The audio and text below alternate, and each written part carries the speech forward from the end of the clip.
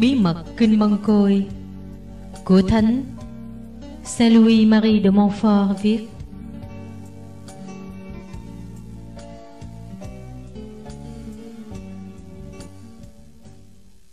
Một việc tưởng niệm. Chúa Giêsu Kitô, bạn tình thần linh của linh hồn chúng ta và là bạn rất thân của chúng ta ước mong chúng ta nhớ đến lòng nhân từ của người đối với chúng ta cũng như đến tất cả ân huệ của người và muốn chúng ta đề cao những điều ấy trên hết mọi sự. Khi nào chúng ta suy niệm một cách sốt sắng và thiết tha những mầu nhiệm thánh hảo của kinh mân côi Bây giờ chúng ta làm cho Chúa Giêsu, Đức Mẹ và các thánh ở trên trời hân hoan.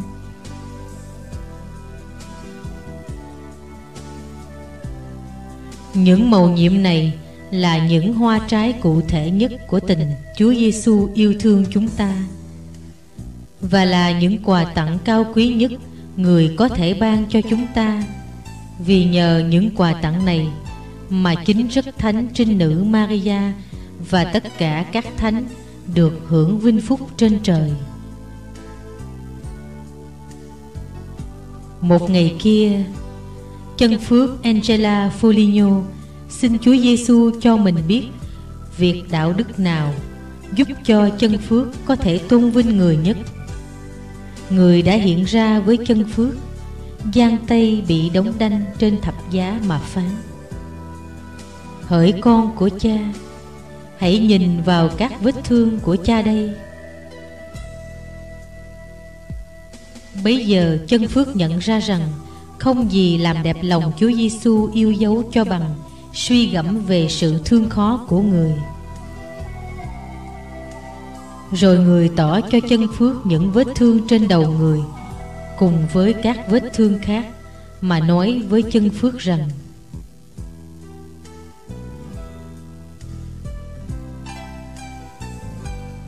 Cha đã chịu tất cả những khổ đau này Vì phần rỗi của con. Con đã làm gì để đền đáp lại lòng cha yêu con? Hy tế thánh lễ dâng lên Chúa Ba Ngôi Chí Thánh, Sự tôn vinh khôn cùng. Vì hy tế thánh lễ tái diễn cuộc tử nạn của Chúa Giêsu Kitô, Và vì nhờ thánh lễ, chúng ta dâng lên Thiên Chúa công nghiệp do đức tuân phục của Chúa Giêsu cùng với sự khổ đau và máu thánh châu báu của người. Toàn thể triều thần thiên quốc cũng hân hoan khác thường mỗi khi có một thánh lễ dâng lên. Một số vị tiến sĩ giáo hội cùng các thánh và thánh Thomas Aquino nói với chúng ta rằng với cùng một lý do tất cả các chân phước ở trên trời hân hoan thông công cùng các tín hữu vì bí tích thánh là sự tưởng niệm cuộc tử nạn của Chúa Giêsu Kitô. Nhờ đó, loài người được thông hưởng hoa trái của bí tích thánh để nhận lãnh ơn cứu độ. Kinh Mân Côi được đọc chung kèm theo sự suy niệm các mầu nhiệm thánh hảo cũng là một hiến tế chúc tụng Thiên Chúa để cảm tạ Ngài vì ơn cứu độ cao cả Ngài ban cho chúng ta. Kinh Mân Côi còn là một tưởng nhớ thánh về những đau khổ, tử nạn và vinh quang của Chúa Giêsu Kitô. Do đó, Kinh Mân Côi thật sự tôn vinh và làm cho Chúa Giêsu, Đức Mẹ và tất cả các chân phước trên trời hoang lạc vì các ngài không còn mong gì hơn hay đóng góp gì hơn cho vĩnh phúc của chúng ta bằng thấy chúng ta gắn bó với việc hết sức làm vinh danh Chúa Giêsu, mà lại cũng rất bổ ích cho chính chúng ta nữa.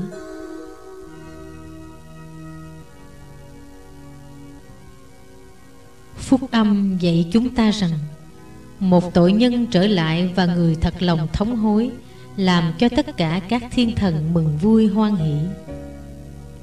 Nếu sự thống hối và cải thiện của một tội nhân Đủ làm cho các thiên thần mừng vui như thế Thử hỏi Toàn thể triều thần thiên quốc Còn sung sướng hoan hỷ Và Chúa Giêsu rạng danh đến thế nào? Khi thấy chúng ta ở thế gian Sốt sắng và thiết tha Suy ngẫm về sự khiêm hạ, Cực hình của người, Cũng như về cái chết rùng rợn đầy nhục nhã của người. Còn gì đánh động lòng chúng ta chắc chắn hơn điều này. Và còn gì thôi thúc chúng ta tự thống hối một cách chân thành hơn điều này. Một người Kitô hữu không suy gẫm các mầu nhiệm kinh mân côi thì thật là vô ơn đối với Chúa Giêsu và tỏ ra họ ít chú ý đến tất cả những gì Chúa cứu thế đã phải chịu để cứu chúng ta. Thái độ này chứng tỏ họ biết ít hay chẳng biết gì về cuộc đời của Chúa Giêsu Kitô và họ không bao giờ chịu khó để tìm hiểu người về những gì người làm và chịu để cứu chuộc chúng ta.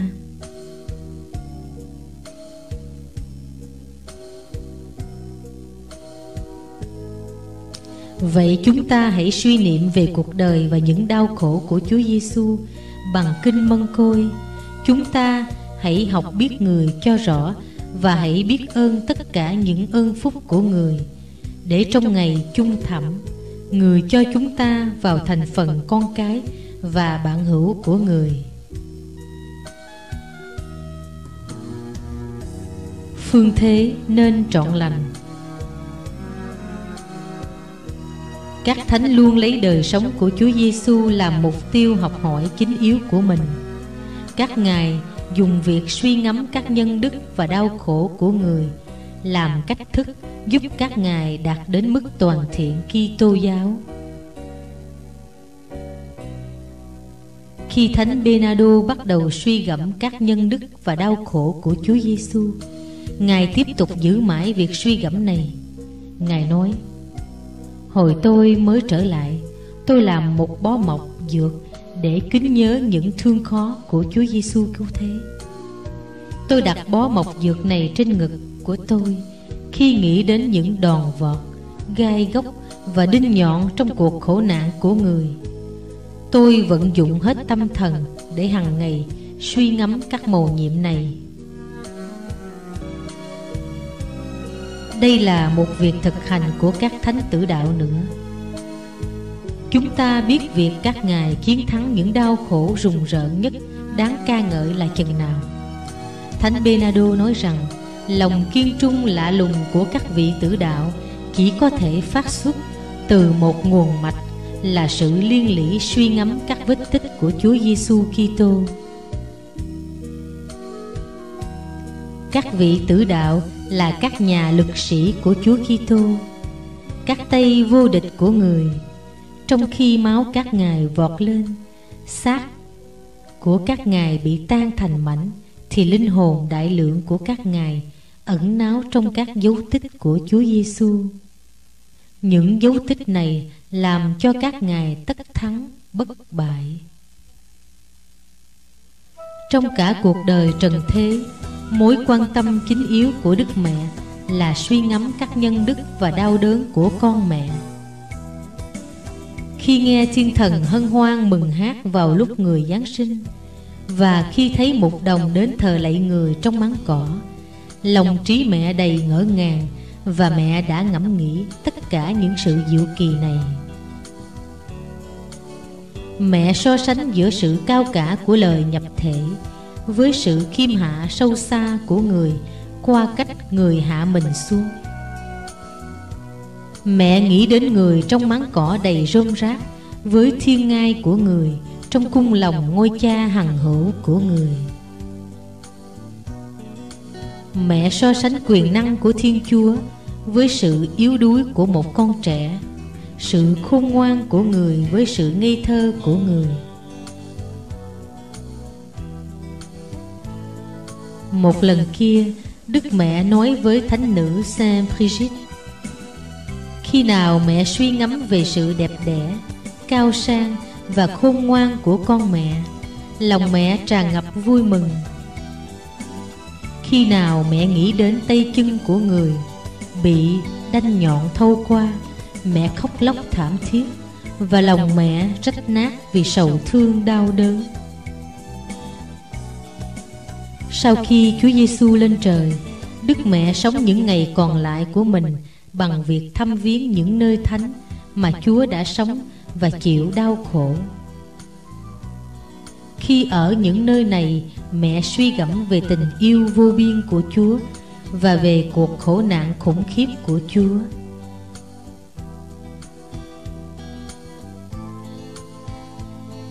Thánh Maria Maddalena không làm gì hơn ngoài những thực hành đạo đức như vậy trong 30 năm sau hết của thánh nữ. Khi thánh nữ sống tĩnh mạc nguyện cầu ở Saint Baume.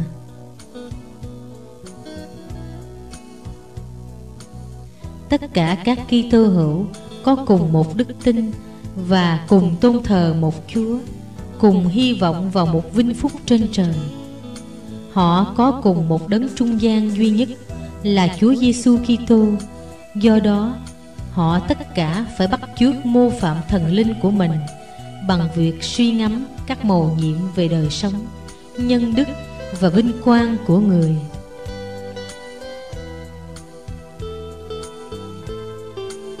Thật là làm to khi cho rằng chỉ có linh mục tu sĩ và những ai xa lánh sự nhộn nhịp của thế gian mới cần phải suy ngẫm các chân lý đức tin và các mầu nhiệm về đời sống của Chúa Giêsu Kitô. Nếu các linh mục và tu sĩ có bổn phận suy ngẫm về các chân lý của đạo thánh để sống xứng đáng cho đến cùng ơn gọi của mình thì giáo dân cũng có cùng một bổn phận như vậy. Vì hàng ngày họ phải đương đầu với những hiểm nguy thiên liêng có thể làm họ mất linh hồn. Vì vậy, họ phải trang bị cho chính mình những việc suy niệm thường xuyên về cuộc đời, về các nhân đức và đau thương của Chúa Giêsu là những tuyệt vời được cô động trong 15 mầu nhiệm mân côi.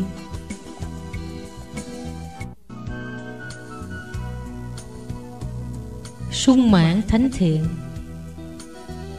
Sẽ chẳng bao giờ có ai hiểu được sự sung mãn thánh thiện lạ lùng được chất chứa trong các kinh và các mầu nhiệm mân côi Việc suy niệm các mầu nhiệm về sự sống và chết của Chúa Giêsu Kitô cứu thế là nguồn mạch trổ sinh những hoa trái kỳ diệu nhất cho những ai thực hành việc này. Suy niệm về các mầu nhiệm và kinh nguyện mân côi là một việc dễ nhất trong các kinh nguyện vì những nhân đức khác nhau của Chúa Giêsu Kitô và những giai đoạn khác nhau của cuộc đời Ngài. Khi suy niệm, làm tươi mát và củng cố tâm trí chúng ta cách lạ lùng, giúp chúng ta khỏi bị chia trí. Những màu nhiệm này đối với người thông hiểu là nguồn mạch của các tính điều căn bản nhất với những kẻ đơn thành là cách dẫn giải rõ ràng và dễ hiểu biết.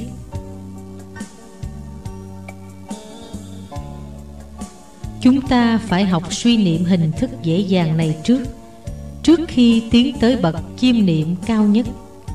Đây là quan niệm của Thánh Thomas Aquino Và cũng là lời Ngài khuyên chúng ta khi nói rằng Trước hết, người ta phải cố gắng tranh đấu để chiếm lấy tất cả các nhân đức của Kinh Mân Côi Đã hiến cho chúng ta Để cho chúng ta bắt chước.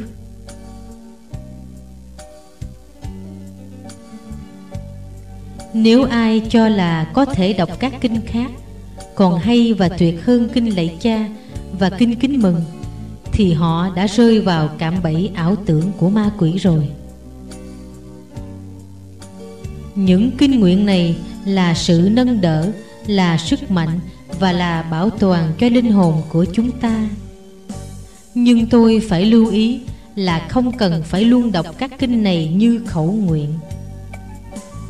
Đúng là như thế, Về ý nghĩa, Tâm nguyện vẫn hoàn hảo hơn khẩu nguyện. Song hãy tin tôi, thật là nguy hiểm nếu không muốn nói là nguy tử. Nếu tự ý bỏ đi việc đọc kinh mân côi Viễn lý là tìm cầu một sự kết hợp mật thiết với chúa hơn. Đôi khi, linh hồn tự mãn đi theo một đường lối khéo léo và có thể làm được mọi sự trong nội tâm để tiến tới tột đỉnh của mức chiêm niệm như các thánh. Có thể bị ma quỷ đánh lừa, đến chỗ bỏ không thực hành những việc tôn sùng trước nữa. Vì họ cho rằng họ đã tìm ra một sự thiện cao hơn. Thế rồi, họ coi các việc thực hành trước kia của mình là thấp kém, chỉ đáng dành cho các linh hồn tầm thường hay trung bình.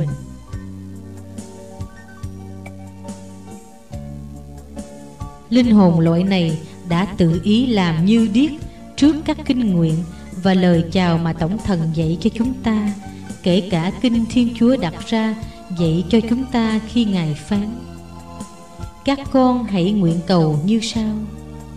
Lạy cha chúng con ở trên trời. Lâm vào tình trạng này, một linh hồn như vậy sẽ rơi vào những mơ tưởng còn nguy hại hơn nữa. Rồi rơi từ dốc núi này xuống sườn núi kia.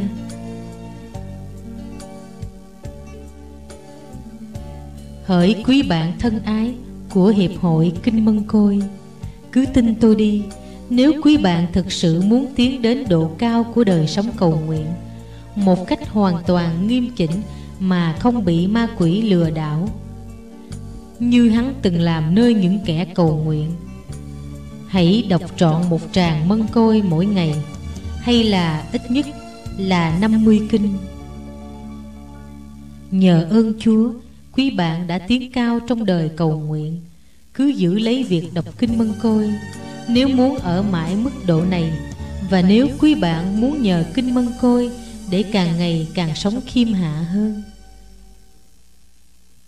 Vì chẳng có ai đọc kinh mân côi hàng ngày, lại trở thành một kẻ lạc đạo chính hiệu, hay bị ma quỷ lừa đảo cả. Đây là lời phát biểu, tôi sẵn sàng lấy máu mình mà ký để làm bảo chứng.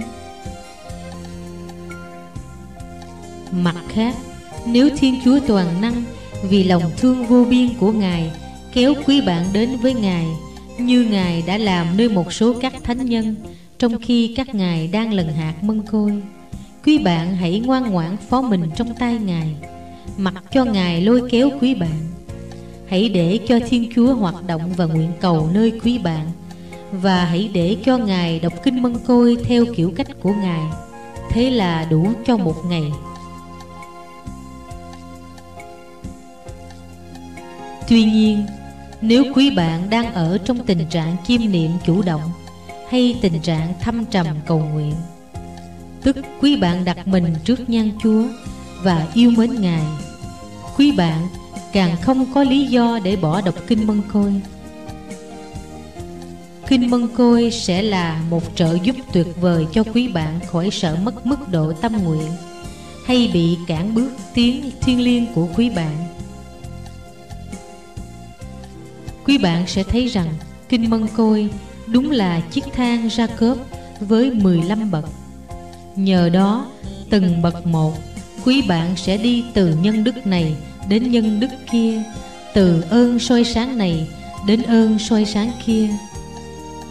Như thế, không sợ nguy hiểm bị lầm lạc, quý bạn sẽ dễ dàng đạt đến tầm vóc viên mãn của Chúa Giêsu Kitô.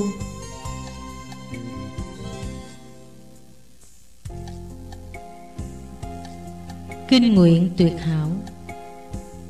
Bất cứ làm gì, Quý bạn đừng giống như người đàn bà ở Roma kia, Đạo đức theo kiểu ý riêng, Mà hãy nói đến kinh mân côi Là lại nhắc tới bà. Bà sùng đạo và súc sắng đến nỗi, Đời sống thánh thiện của bà Đã làm cho bà nhẹ nhàng đối với những điều coi là ngặt nghèo nhất trong giáo hội. Định tâm nhận thánh đa minh, hướng dẫn đời sống thiêng liêng cho mình.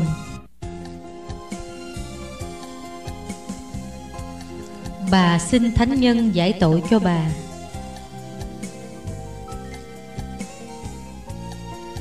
Thánh nhân đã ra việc đền tội cho bà là đọc một tràng kinh mân côi còn khuyên bà đọc như thế hàng ngày nữa. Bà nói rằng bà không có đủ giờ để đọc. Lấy lý, nào là phải đi kính viếng các đền thờ ở Roma. Nào là đã phải mặc áo thô cùng với các áo nhậm. Nào là làm khốn mình mấy lần một tuần. Nào là thực hành quá nhiều các việc đền tội và chay tịnh. Thánh Đa Minh cứ thúc giục bà nghe theo lời khuyên của Ngài đọc kinh mân côi. Nhưng bà không chịu. Bà rời tòa giải tội mà rùng mình trước những mẹo mực của vị linh hướng.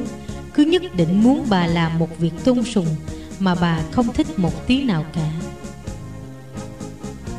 Sau này, vào một lúc đang cầu nguyện Bà ngất trí đi và được thị kiến Thấy linh hồn của bà đến trước tòa chúa phán xét. Thánh Micae đặt tất cả các việc hãm mình và cầu nguyện của bà lên một đĩa cân và tất cả các tội lỗi cùng với những bất toàn của bà lên đĩa cân còn lại. Đĩa cân việc lành phúc đức của bà lại nhẹ hẳn hơn là đĩa cân tội lỗi bất toàn của bà. Đầy kinh hãi, bà kêu khẩn đến lòng thương xót van xin rất thánh trinh nữ cứu giúp vị bầu cử ân đức của bà. Đấng đã lấy tràng hạt mân côi duy nhất mà bà đã đọc để đền tội, đặt lên đĩa cân công phúc của bà. Tràng kinh mân côi này nặng hơn cả mọi tội lỗi lẫn việc lành của bà. Rồi đức mẹ trách bà đã không chịu nghe theo lời khuyên của thánh đa minh, đầy tớ của người, và không chịu đọc kinh mân côi hàng ngày tỉnh trí lại. Bà cấp tốc chạy đến sắp mình dưới chân thánh đa minh, kể cho thánh nhân nghe tất cả những gì đã xảy ra. Bà còn xin thánh tha cho sự bất tín của bà và hứa sẽ trung thành đọc kinh mân côi hàng ngày. Bà đã nhờ thế mà tiến tới sự trọn lành Kitô giáo và cuối cùng đến vinh quang đời đời. Hỡi quý bạn là những người cầu nguyện. Từ câu chuyện này, quý bạn thấy được mức độ phi thường là dường nào, nơi quyền năng, giá trị và tầm quan trọng của sự tôn sùng phép lần hạt rất thánh mân côi. Khi nó được đọc chung cùng với sự suy niệm các mầu nhiệm của nó, một ít thánh đã tiến tới cao điểm của sự cầu nguyện, như thánh Marie Madeleine vị thánh đã được các thiên thần đưa lên trời mỗi ngày và cũng là vị thánh đã được đặt ân ngồi học dưới chân Chúa và mẹ thánh của người. Thế mà vào một ngày kia khi chị thánh xin Thiên Chúa tỏ cho chị biết phải dùng cách nào, cách chắc chắn để tấn tới trong tình yêu mến Ngài cũng như đạt được tuyệt đỉnh trọn lành.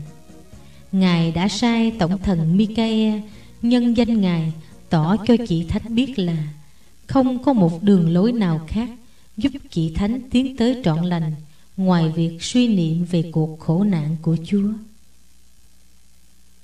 Rồi Tổng thần đặt một cây thánh giá ở trước cửa động của chị Thánh và bảo chị cầu nguyện trước cây thánh giá, chiêm ngắm các màu nhiệm đau thương mà chính chị đã được chứng kiến tận mắt.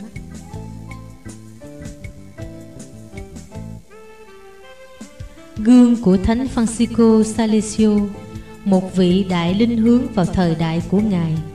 Phải khuyến khích quý bạn gia nhập học hội Kinh Mân Côi Vì một vị thánh cao cả như Ngài Mà còn hứa buộc mình bao lâu còn sống, Mỗi ngày phải đọc đủ một tràng Kinh Mân Côi. Thánh Charles Borromeo cũng đọc đủ một tràng kinh mân côi như vậy và hết sức khuyến dục làm việc tôn sùng này nơi các linh mục của Ngài, nơi hàng giáo sĩ trong các chủng viện và cho tất cả mọi giáo hữu của Ngài. Thánh Pio Năm, một trong những vị đại giáo hoàng dẫn dắt giáo hội, đã đọc kinh Mân Côi mỗi ngày. Thánh Thomas Villanova tổng giám mục giáo phận Valencia, Thánh Teresa và Thánh Philippe Neri, cũng như nhiều vĩ nhân khác mà tôi không kể đến tên, hết lòng tôn sùng kinh mân côi thánh. Theo gương các đấng, các vị linh hướng của quý bạn sẽ lấy làm hài lòng và nếu các ngài biết được lợi ích mà quý bạn gặt hái được do việc tôn sùng này điều trước hết mọi sự các ngài sẽ thúc giục quý bạn là thực hành việc tôn sùng này.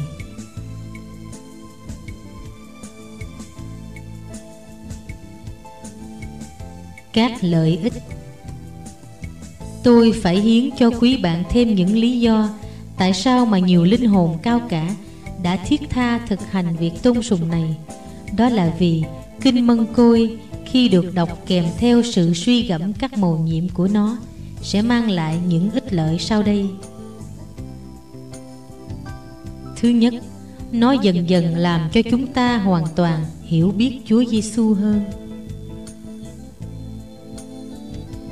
Thứ hai nó thanh tẩy tội lỗi làm cho linh hồn chúng ta nên thanh sạch. Thứ ba nó làm cho chúng ta chiến thắng tất cả mọi kẻ thù của chúng ta. Thứ bốn, nó làm cho chúng ta dễ dàng thực hành nhân đức. Thứ năm, nó làm cho chúng ta nóng nảy kính mến Chúa. Thứ sáu, nó làm cho chúng ta tăng tiến trong ân sủng và công đức. Thứ bảy, nó giúp cho chúng ta những gì cần thiết để trang trải tất cả nợ nần chúng ta mắc với Chúa và với anh em mình và sau hết, nó làm cho chúng ta thêm đủ mọi ơn lành của Chúa toàn năng. Sự hiểu biết Chúa Giêsu Kitô là khoa học của Kitô hữu và là khoa học cứu rỗi. Thánh Phaolô nói rằng nó vượt trên mọi khoa học trần gian về giá trị cũng như về sự trọn hảo.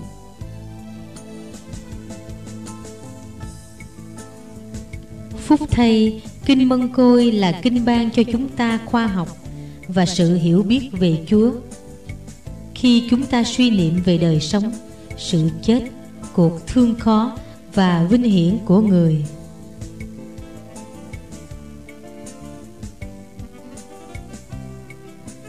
Đức Mẹ đã tỏ cho chân phước A-la biết rằng, từ khi Thánh Đa Minh bắt đầu rao giảng kinh mân côi đã làm cho các tội nhân cứng lòng, bị đánh động và đớn đau khóc lóc về tội lỗi nặng nề của mình. Còn đám tuổi trẻ thực thi những việc đền tội ngoài sức tưởng tượng và ở các nơi thánh nhân rao giảng phép lần hạt rất thánh mân côi đều bừng lên lòng sùng mộ, đến nỗi tội nhân đã cải hối và chính việc cải hối này của họ lại củng cố các người khác và làm thay đổi lòng người.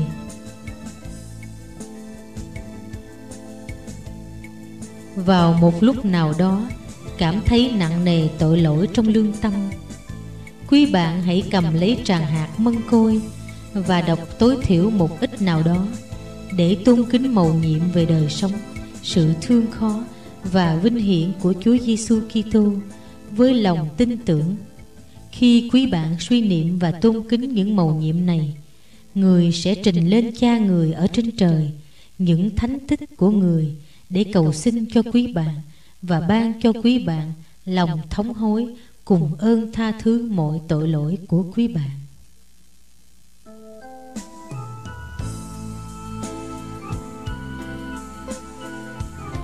Một ngày kia Chúa nói với chân phước A-le, Nếu những kẻ tội lỗi bất hạnh đáng thương này Đọc kinh mân côi của ta, Họ sẽ được thông phần với công ơn thương khó của ta, Và ta sẽ là đấng bầu cử cho họ trong việc đền bù lại Sự công chính của cha ta.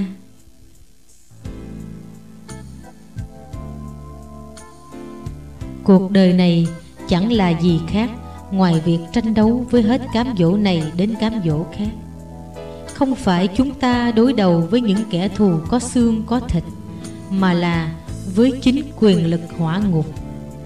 Do đó, còn khí giới nào sắc bén cho chúng ta để chiến đấu với nó bằng kinh nguyện mà vị đại thủ lãnh của chúng ta đã dạy cho chúng ta?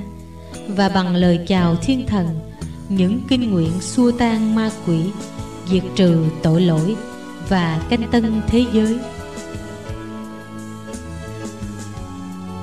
còn khí giới nào dũng mãnh để chúng ta có thể sử dụng hơn việc suy niệm về đời sống và sự thương khó của Chúa Giêsu Kitô đấng cứu thế.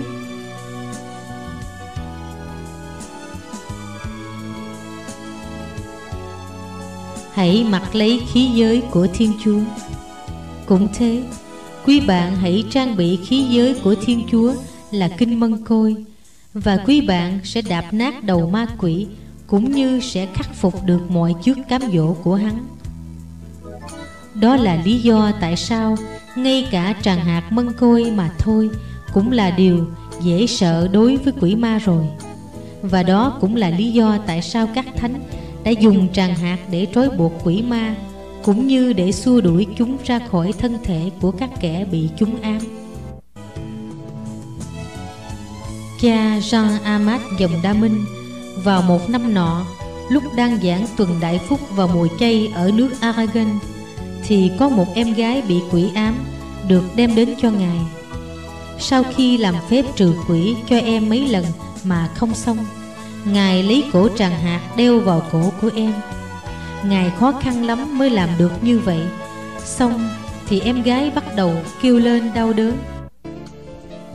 hãy bỏ chúng ra, hãy bỏ chúng ra. Những hạt này hành hạ tôi. Thương hại em gái. Cuối cùng, vị linh mục đành bỏ cổ tràng hạt ra.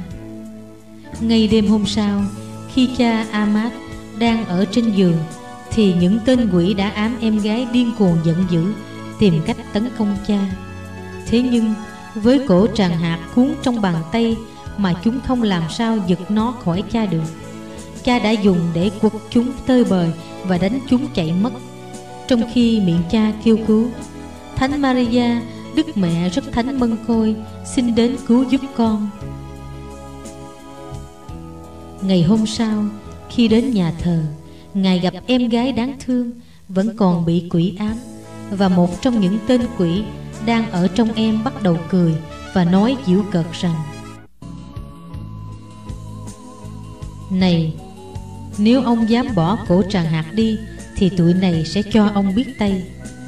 Bấy giờ, vị linh mục tốt lành, không chần chờ quàng ngay cổ tràng hạt vào cổ em bé mà nói, nhân danh tên thánh chúa giêsu và mẹ maria, mẹ thánh của người, và bằng quyền năng của phép lần hạt rất thánh mân côi ta truyền cho ngươi hỡi các tà thần, hãy ra khỏi thân thể của em gái này.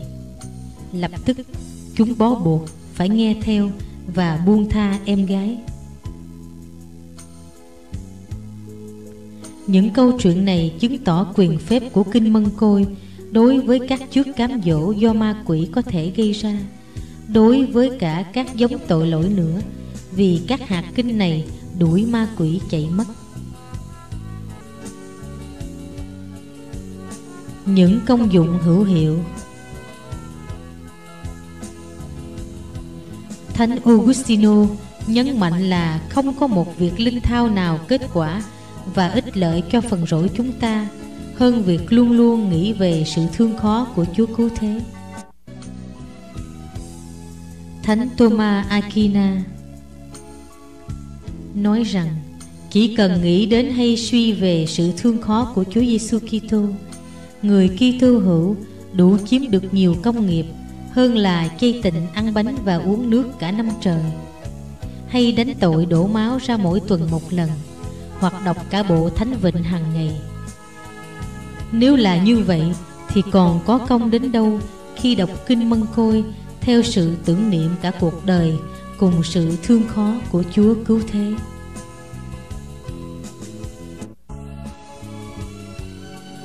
Một ngày kia, Đức Mẹ tỏ cho chân phước Ale biết rằng, sau thánh lễ là việc tưởng niệm cao trọng và sống động nhất về cuộc thương khó của Chúa Giêsu thì không còn một việc tôn sùng nào khác tốt lành hơn và phúc đức hơn kinh mân côi một tưởng niệm và biểu hiệu khác cho cuộc đời và cuộc thương khó của Chúa Giêsu Kitô. Cha Dorlan nói rằng vào năm 1481, Đức Mẹ đã hiện ra với chân phước đa minh, dòng Catuzan. Mẹ nói với Ngài rằng, khi nào một tín hữu đang có ơn nghĩa Chúa đọc kinh mân côi theo sự suy niệm các mầu nhiệm về đời sống và cuộc tử nạn của Chúa Giêsu Kitô thì mọi tội lỗi của họ sẽ hoàn toàn và trọn vẹn được thứ tha. Đức mẹ còn nói với chân phước Ale, Mẹ muốn cho con biết rằng, Mặc dầu có nhiều ân xá đi theo với việc lần hạt mân côi của mẹ Mẹ sẽ ban thêm cho ai sạch tội trọng, Quỳ lần 50 kinh kính mừng. Còn ai kiên trung trong việc sùng kính kinh mân côi, Đọc và suy gẫm sẽ được tưởng thưởng. Mẹ sẽ xin cho họ hoàn toàn được tha mọi đền trả. Và vết tích bởi tội lỗi của họ vào lúc họ lâm chung. Đừng ngờ vực gì nữa, Cho dù nó xem như không thể nào xảy ra, Nhưng đối với mẹ lại dễ dàng, vì mẹ là mẹ của vua trời, đấng gọi mẹ đầy ơn phúc. Vì mẹ đầy ơn phúc mà mẹ có thể tự do phân chia ân sủng cho các con, những con cái yêu dấu của mẹ.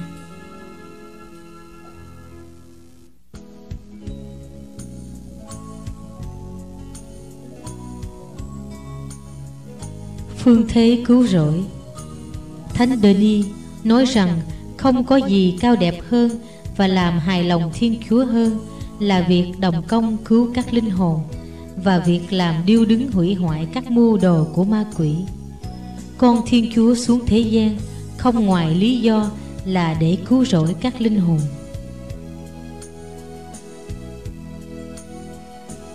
Đức Giáo Hoàng Leo mười đã nói trong tự sắc của Ngài rằng hiệp hội này được thành lập để tôn vinh Thiên Chúa và rất thánh trinh nữ, như một bức tường ngăn chặn các sự dữ đang bùng nổ trong giáo hội. Đức Giáo Hoàng Gregory 13 nói rằng Kinh Mân Côi từ trời ban cho chúng ta như những phương cách để ngăn cản cơn thịnh nộ của Thiên Chúa và để cầu khẩn sự can thiệp của Đức Mẹ. Đức Giáo Hoàng Giulio III nói kinh mân côi được Thiên Chúa linh ứng để nhờ các ân huệ của Đức Mẹ mà thiên đàng mở ra cho chúng ta một cách dễ dàng hơn. Đức Giáo Hoàng Phaolô III và Thánh Giáo Hoàng Pio V nói rằng kinh mân côi được ban cho các tín hữu để họ có thể dễ dàng sống bình an và ủi an trong tâm thần.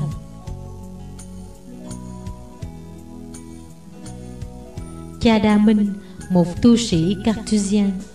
Vì sự cung kính, kinh mân côi thật là sâu đậm. Được thị kiến thấy trời mở ra với tất cả triều thần thiên quốc quây quần trong hào quang rực rỡ. Cha còn nghe thấy các ngài hát kinh mân côi nhịp nhàng, mỗi chục kinh đọc để kính nhớ một màu nhiệm về cuộc đời, về sự thương khó hay vinh quang của Chúa Giêsu và mẹ thánh người.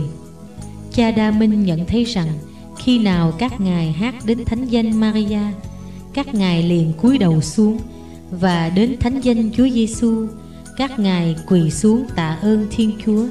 Về công cuộc lành thánh, người đã thực hiện trên trời dưới đất qua kinh mân côi mà các phần tử của hiệp hội kinh mân côi đọc ở trên trái đất này. Cha cũng để ý thấy rằng các ngài đang cầu nguyện cho những ai thực hành việc tôn sùng này. Cha còn thấy những vòng vương miện không có số được làm bằng các loại hoa thơm ngát đang sẵn sàng để đổi cho những kẻ lần hạt mân côi sốt sắng. Cha hiểu rằng mỗi một kinh mân côi họ đọc là họ làm cho họ một triều thiên mà họ sẽ đổi trên thiên đàng.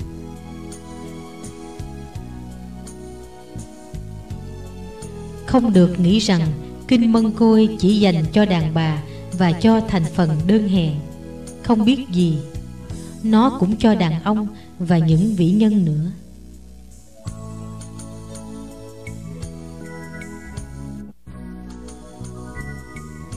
Một cuộc quỷ ám. Khi Thánh Đa Minh đang giảng về Kinh Mân Côi, Gần Carcassonne thì người ta mang đến cho Ngài một người theo bè rối Albigensi Bị quỷ ám. Thánh Đa Minh làm phép trừ quỷ trước mặt một đám rất đông dân chúng. Có thể đến cả trên 12.000 người đến nghe Ngài giảng.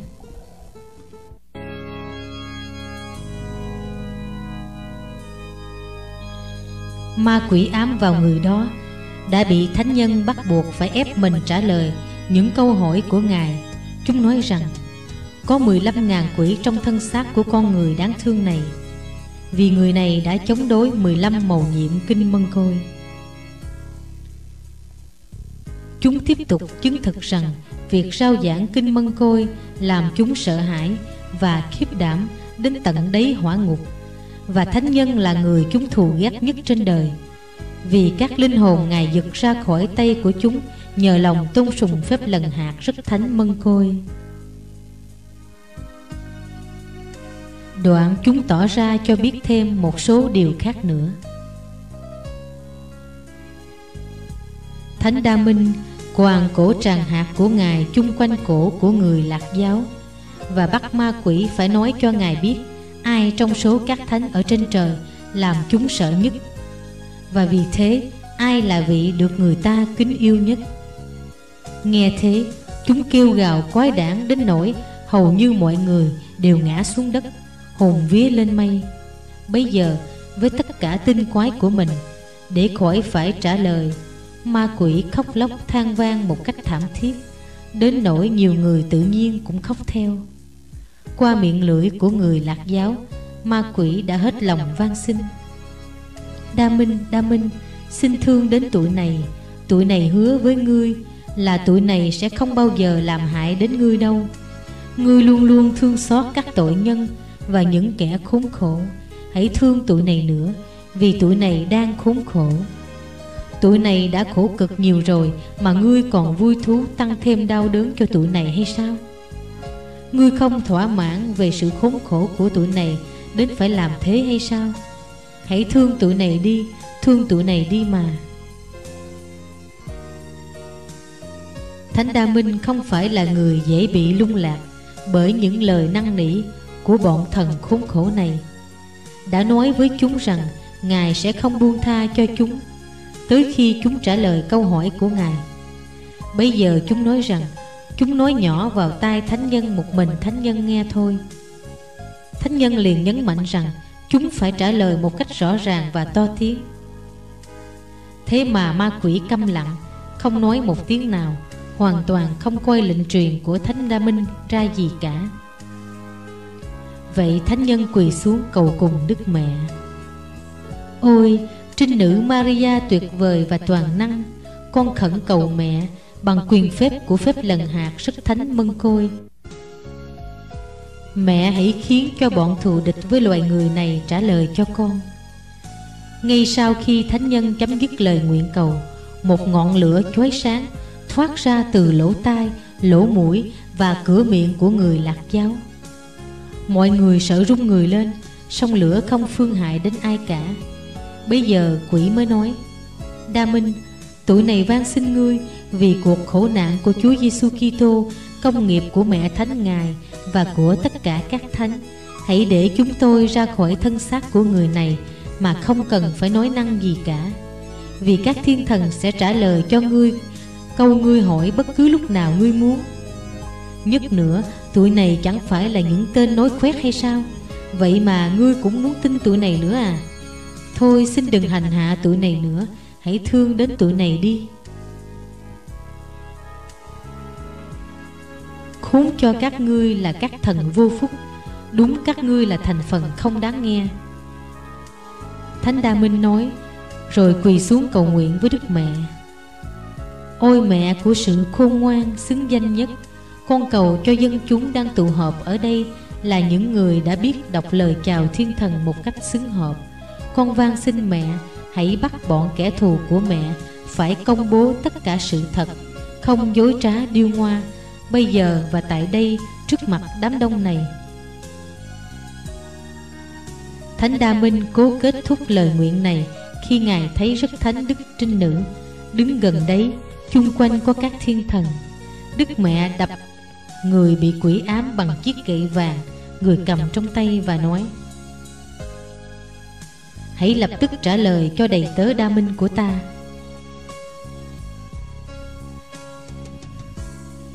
Việc này đức mẹ chỉ cho thánh đa minh thấy.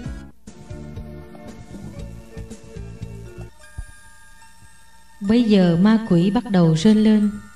Ôi bà là kẻ thù của tụi tôi. Là tai họa và hủy diệt của tụi tôi. Sao bà lại từ trời xuống để hành hạ tụi tôi quá sức như vậy?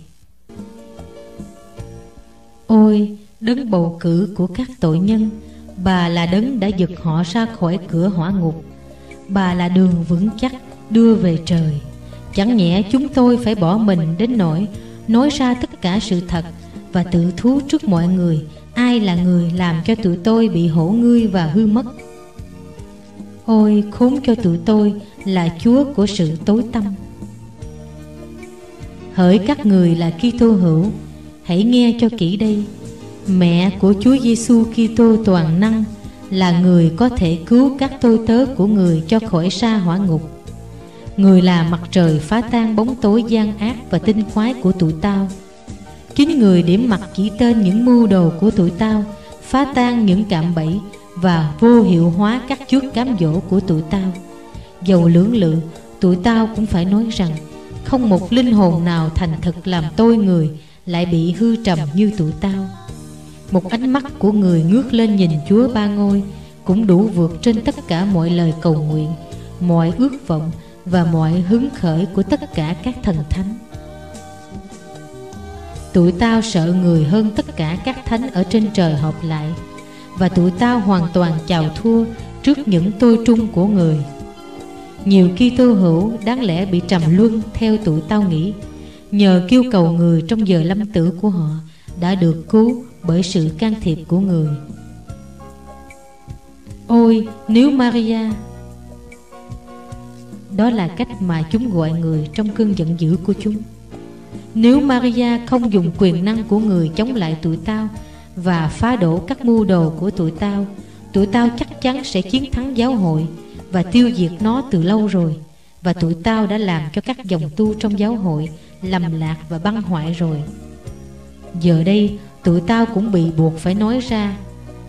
Cho các ngươi biết điều này nữa, là không ai kiên trì đọc kinh mân côi mà bị hư đi vì người xin cho tôi tớ của người ơn thực lòng ăn năn thống hối các tội lỗi của họ. Nhờ đó, họ được hưởng ơn tha thứ và tình thương của thiên chúa. Bây giờ, thánh đa minh bảo tất cả mọi người đọc kinh mân côi thật chậm và thật sốt sắng. Bởi đó, một sự lạ đã xảy ra, là mỗi một kinh kính mừng mà thánh nhân và dân chúng đọc chung với nhau thì một nhóm ma quỷ xuất ra từ thân xác khốn khổ của người đó, dưới hình dạng những cục than đỏ hồng. Khi bọn quỷ ám đã xuất ra hết và người lạc giáo cuối cùng đã hoàn toàn trở lại bình thường, thì đức mẹ ban phép lành cho đám đông, làm cho họ cảm thấy hân hoan vui sướng.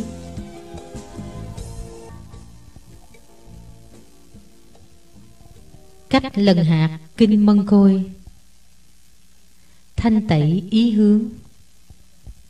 Không phải dài dòng kinh kệ mà là nguyện cầu một cách nhiệt tâm mới là điều làm đẹp lòng thiên chúa và đánh động được lòng của ngài. Chỉ cần đọc một kinh kính mừng cách xứng đáng mà thôi, thì còn hơn là đọc chẳng ra làm sao cả một tràng mười lăm chục kinh hầu hết người công giáo đọc kinh mân côi hoặc đủ mười lăm ngắm hay năm ngắm. Ít nhất là mấy chục kinh. Thế mà tại sao lại có ít người bỏ đàn tội lỗi để đi đường nhân đức trọn lành? Chắc hẳn là vì họ đã không đọc kinh mân côi cách xứng đáng. Đây là một dịp tốt để chúng ta nghĩ lại cách chúng ta cầu nguyện. Nếu chúng ta thực sự muốn làm hài lòng thiên chúa và trở nên thánh thiện hơn.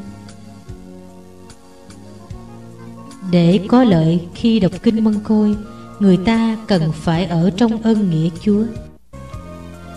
Hay tối thiểu cũng phải có lòng hoàn toàn muốn từ bỏ mọi tội trọng. Chúng ta biết được điều này là vì, theo thần học, tất cả mọi việc lành phúc đức và kinh nguyện của chúng ta chỉ là những việc chết nếu chúng ta đang vướng mắc tội trọng. Bởi đó những việc đó không thể nào làm đẹp lòng chúa hay làm cho chúng ta lấy lại được sự sống. Đó là lý do tại sao sách huấn ca viết bất xứng cho lời chúc tụng phát xuất từ miệng lưỡi của tội nhân. Lời chúc tụng Thiên Chúa, lời chào Thiên Thần và kinh Chúa Giêsu Kitô dạy không làm hài lòng Thiên Chúa khi chúng được các tội nhân bất hối sướng lên. Chúa Giêsu nói: Dân này tôn kính ta bằng môi mép, nhưng lòng chúng thì xa ta. Marco 7 Nói thế là như thể Ngài muốn nói rằng những ai muốn gia nhập hiệp hội kinh mân côi của ta và đọc kinh mân côi hàng ngày. Mà không chịu ăn năn hối lỗi mình, thì chỉ là những kẻ nói mép, lòng chúng chẳng gắn bó gì với ta cả.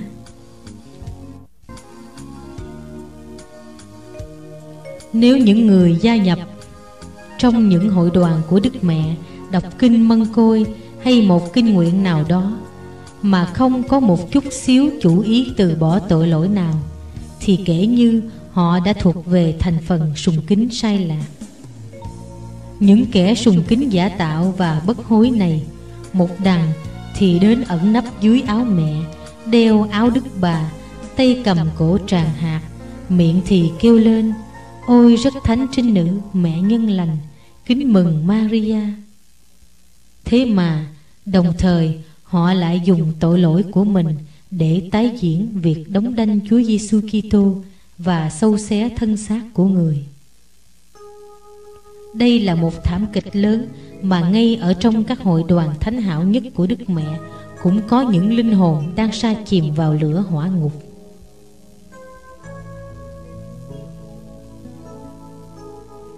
Chúng tôi khẩn nài mọi người đọc kinh mân côi, Kẻ lành thì được kiên trì và lớn lên trong ơn nghĩa Chúa, Tội nhân thì được bỏ đàn tội lỗi mà trở về Thế nhưng, Chúa cấm chúng ta không được bao giờ khuyên bảo tội nhân nghĩ rằng Đức Mẹ sẽ bảo bọc họ trong áo của người, Dù họ cố lì trong tội lỗi. Vì chiếc áo choàng này sẽ trở nên chiếc áo luận phạt Mà họ đã lợi dụng để che đậy tội lỗi của mình trước con mắt thế gian. Kinh Mân Côi là kinh chữa lành mọi bệnh hoạn tật nguyền của chúng ta. Bây giờ sẽ trở nên chất độc tử vong. Việc hủy hoại điều tốt nhất là việc xấu nhất. Đức Hồng Y lỗi lạc Hughes nói rằng, Người ta phải thực sự tin tuyền như các thiên thần Khi tiến đến với rất thánh trinh nữ Maria Và khi đọc lời chào thiên thần. Một ngày kia, Đức mẹ hiện ra với một người hư đốn Vốn luôn luôn đọc kinh mân côi hàng ngày. Người cho người đó thấy một bát trái cây ngon lành, Xong chính cái bát lại dính đầy nhơ nhớp. Người đó run sợ khi nhìn thấy như vậy. Đức mẹ liền nói, Đây là cách mà con đang tôn kính mẹ. Con đang dâng cho mẹ những bông hồng tuyệt vời Được chứa đựng trong một cái bát bẩn thỉu con có nghĩ là mẹ có thể nào chấp nhận một tặng vật nào như vậy không?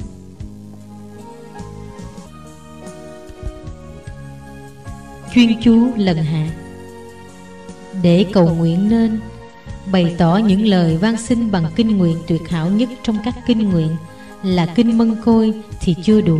Chúng ta còn phải thật chú tâm Để Chúa có thể nghe tiếng lòng của chúng ta hơn là tiếng nói phát ra từ cửa miệng của chúng ta. Thật là phạm lỗi khi chủ ý chia lòng chia trí trong lúc cầu nguyện, thì tỏ ra thật là thiếu kính trọng và nghiêm trang. Sẽ làm cho kinh mân côi trở nên vô hiệu hóa và làm cho chúng ta thêm tội. Chúng ta có thể nào muốn chúa lắng nghe chúng ta nếu chính chúng ta lại chẳng chú ý gì đến những điều chúng ta đang đọc? Sao chúng ta có thể làm đẹp lòng chúa, trong khi ở trước sự hiện diện uy nghi cao cả của ngài? Chúng ta lại lang thang với những chia lòng chia trí, như những đứa nhỏ đang chạy theo những con bướm vậy. Người nào làm theo những điều như vậy phải trả lẽ cho những ân phúc của chúa toàn năng, những ơn phúc biến thành những sự chúc giữ cho việc cầu nguyện bất kính của họ.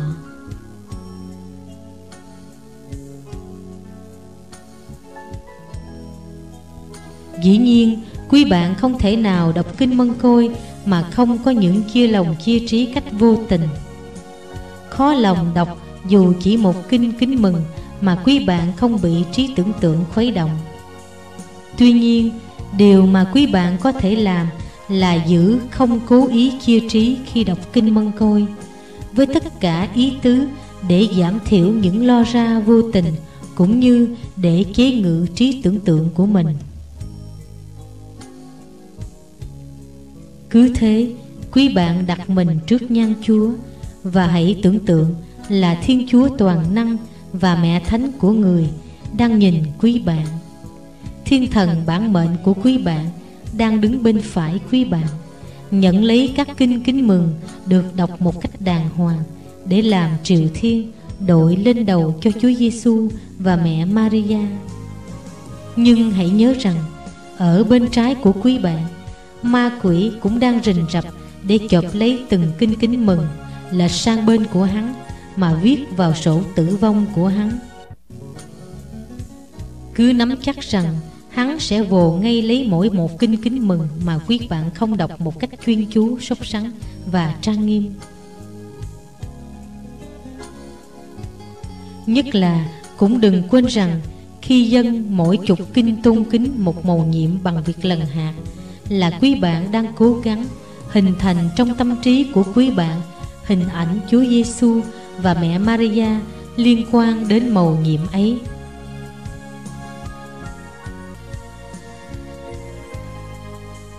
Đời sống của chân phước Armen thuộc các cha dòng Raymond Statensien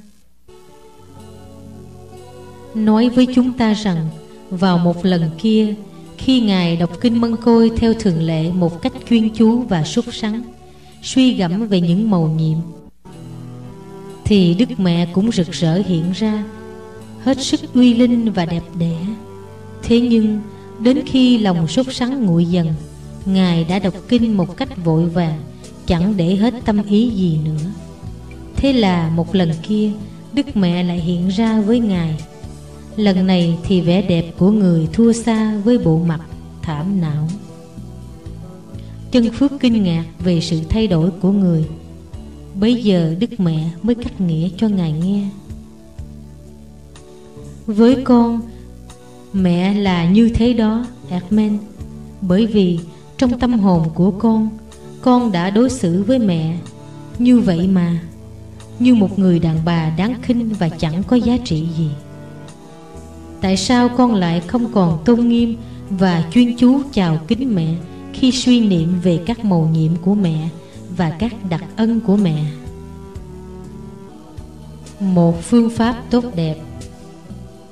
Khi quý bạn xin chúa thánh linh giúp quý bạn, cầu nguyện cho nên, quý bạn hãy tự đặt mình trước sự hiện diện của chúa trong chốc lát. Rồi hãy dâng những trục kinh theo cách thức mà tôi sẽ chỉ cho quý bạn sau này. Trước khi bắt đầu mỗi chục kinh, hãy thinh lặng đôi chút và hãy chiêm ngắm màu nhiệm mà quý bạn sắp sửa kính nhớ trong chục kinh đó. Hãy luôn luôn nhớ xin chúa toàn năng vì màu nhiệm này và nhờ lời cầu bầu của thánh mẫu, một trong những nhân đức nổi bật nhất của màu nhiệm ấy hay một trong những nhân đức mà quý bạn cần đặc biệt. Cẩn thận tránh hai điều nguy hiểm mà hầu hết người ta gặp phải khi đọc kinh mân côi. Điều thứ nhất là không cầu xin ơn gì cả. Do đó, khi có được hỏi về ý chỉ kinh mân côi, họ không biết đằng nào mà trả lời. Bởi thế, khi đọc kinh mân côi hãy nhớ xin một ơn đặc biệt nào đó. Hãy xin thiên chúa giúp mình vun trồng một trong những nhân đức lớn của kitô giáo, hay khắc chế được một trong những tội lỗi của mình. Điều lầm lạc thứ hai mà nhiều người mắc phải khi đọc kinh mân côi, đó là không có chủ ý gì hơn ngoài chủ ý đọc cho xong nhanh bao nhiêu có thể điều này xảy ra là vì nhiều người trong chúng ta coi kinh mân côi như một gánh nặng, mà nếu không đọc thì càng nặng nề hơn. Đặc biệt là nó đè nặng lên lương tâm của chúng ta, vì chúng ta đã hứa đọc thường xuyên hay đã được dạy đọc như một việc thống hối. Ngược lại với ý muốn của chúng ta một cách nào đó. Thật là thê thảm khi thấy cách mà hầu hết người ta đọc kinh mân côi thánh. Họ đọc nhanh kinh khủng, đến nỗi nghe chẳng còn rõ cả những lời kinh họ đọc nữa. Chúng ta đừng mong bất cứ một ai, kể cả một người tầm thường nhất, nghĩ rằng cách đọc kinh sai lầm như thế lại là một việc tôn vinh chúc tụng. Và do đó, chúng ta nghĩ rằng Chúa Giêsu và mẹ Maria sẽ hài lòng với nó. Chẳng lạ gì mà các kinh nguyện rất thiện hảo của đạo thánh chúng ta hình như không mang lại kết quả gì. Và sau khi đọc cả ngàn kinh mân côi, chúng ta vẫn chẳng khá hơn trước gì cả.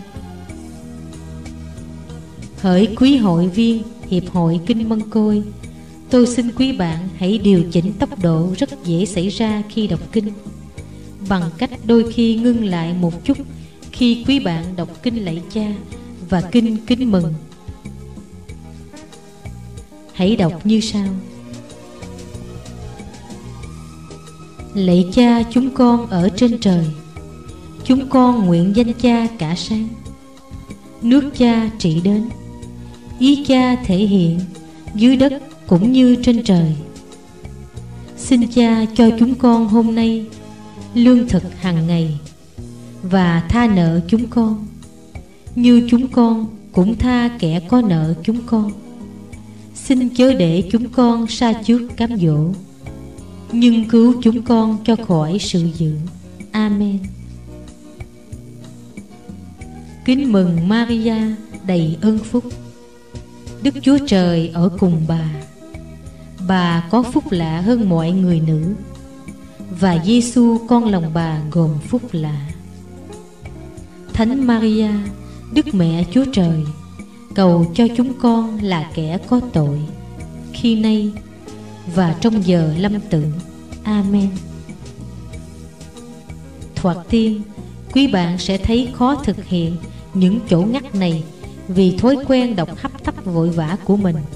Thế nhưng, một chục kinh mà quý bạn đọc một cách chăm chú theo thể thức kia còn quý hơn cả ngàn kinh mân côi được đọc một cách hoàn toàn cẩu thả. Chẳng có ngắt nghĩ hay suy nghĩ ráo trội.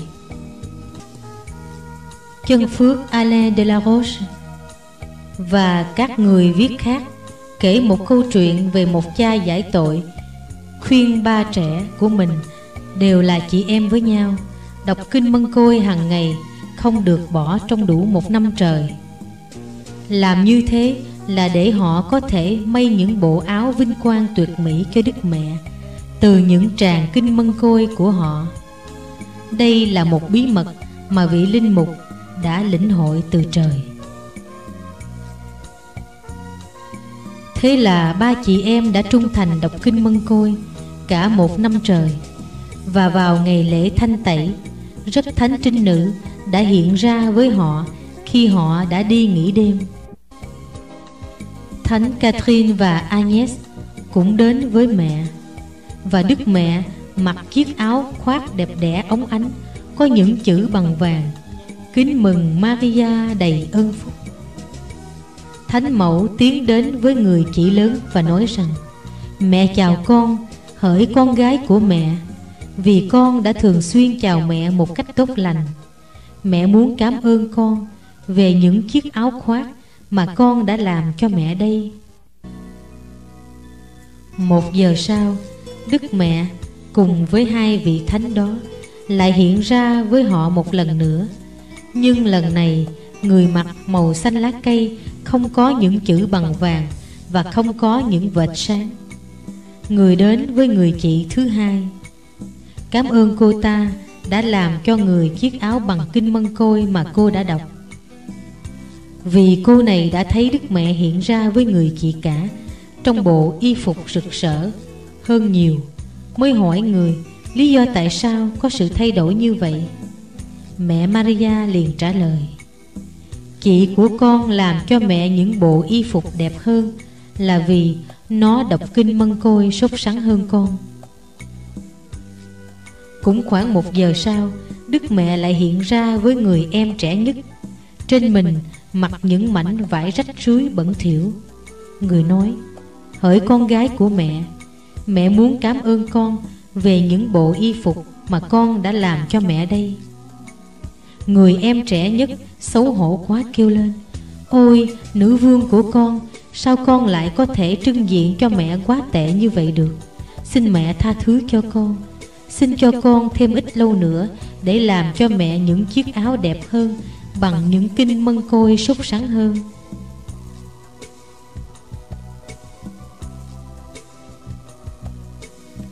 Đức mẹ và hai vị thánh biến đi, Bỏ người em ở lại với cõi lòng tan nát. Cô ta kể lại cho vị giải tội, Mọi sự đã xảy ra cho cô Và Ngài thúc giục cô Đọc kinh mân côi thêm một năm nữa Và đọc một cách sốt sắng hơn bao giờ hết. Đến cuối năm thứ hai, Cũng vào cùng một ngày lễ thanh tẩy. Cùng với hai thánh Catherine và Agnes, Đức mẹ mình mặc chiếc áo rực rỡ, Đầu đội triều thiên, Lại hiện ra với họ vào buổi tối, Người nói với họ rằng, Hỡi các con gái của mẹ Mẹ đến để cho chúng con biết rằng, Cuối cùng các con đã chiếm được nước trời, Và ngày mai các con sẽ rất vui sướng. Khi lên đó. Thế rồi thị kiến chấm dứt. Ngay trong đêm đó, Họ đều ngã bệnh Và vị giải tội của họ, Được mời đến cho họ chịu phép bí tích sau hết. Và cũng để cảm ơn Ngài đã chỉ cho họ một việc lành rất thánh đức. Sau giờ kinh đêm, Cùng với đám đông trinh nữ, Đức mẹ hiện ra với ba chị em Và cho họ mặc chiếc áo choàng trắng. Trong khi các thiên thần hát. Hãy đến, hỡi các bạn tình của Chúa Giêsu. Hãy nhận lấy triều thiên đã được sắm sẵn cho quý bạn từ thuở đời đời. Và họ từ giả trần gian này. Kiên tâm cầu nguyện.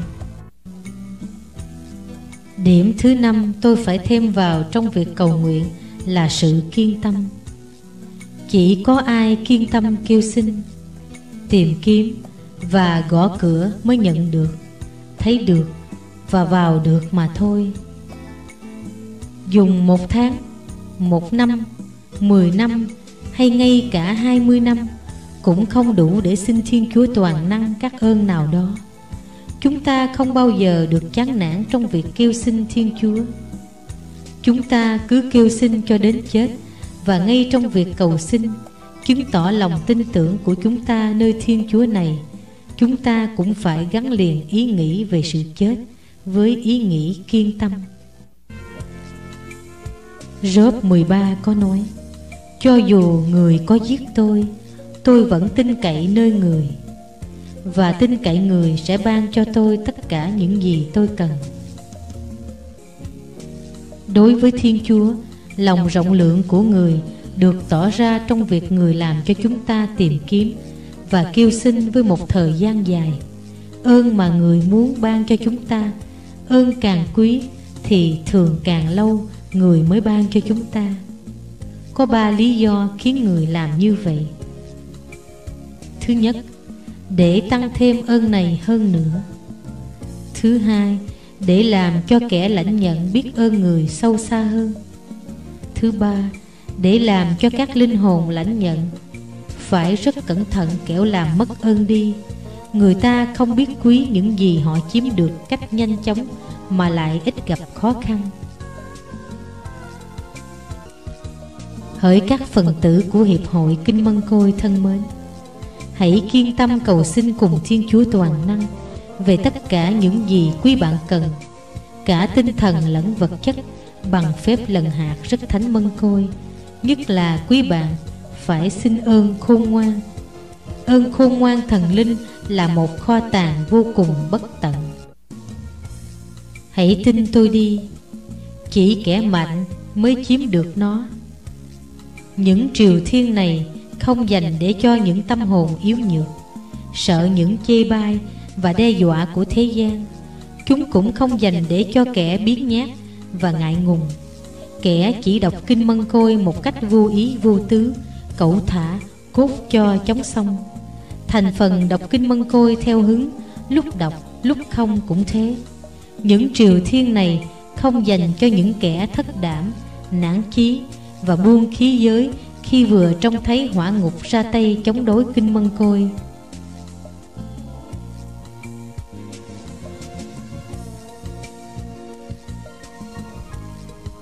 Quý phần tử Hiệp hội Kinh Mân Côi thân mến, nếu quý bạn muốn phụng sự Chúa Giêsu và mẹ Maria bằng cách lần hạt Kinh Mân Côi mỗi ngày, quý bạn phải sẵn sàng chịu cám dỗ. Chính hỏa ngục nữa sẽ giao chiến với quý bạn bằng hết sức cố gắng làm sao cho quý bạn bỏ việc thực hành thánh thiện này.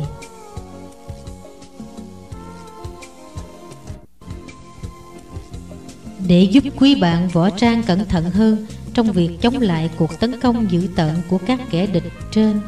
Tôi sẽ vạch cho quý bạn thấy một số điều mà thành phần này luôn nghĩ tưởng và nói ra. Làm như vậy, quý bạn phòng thủ mình cho tất cả bọn chúng. Chúng có thể nói rằng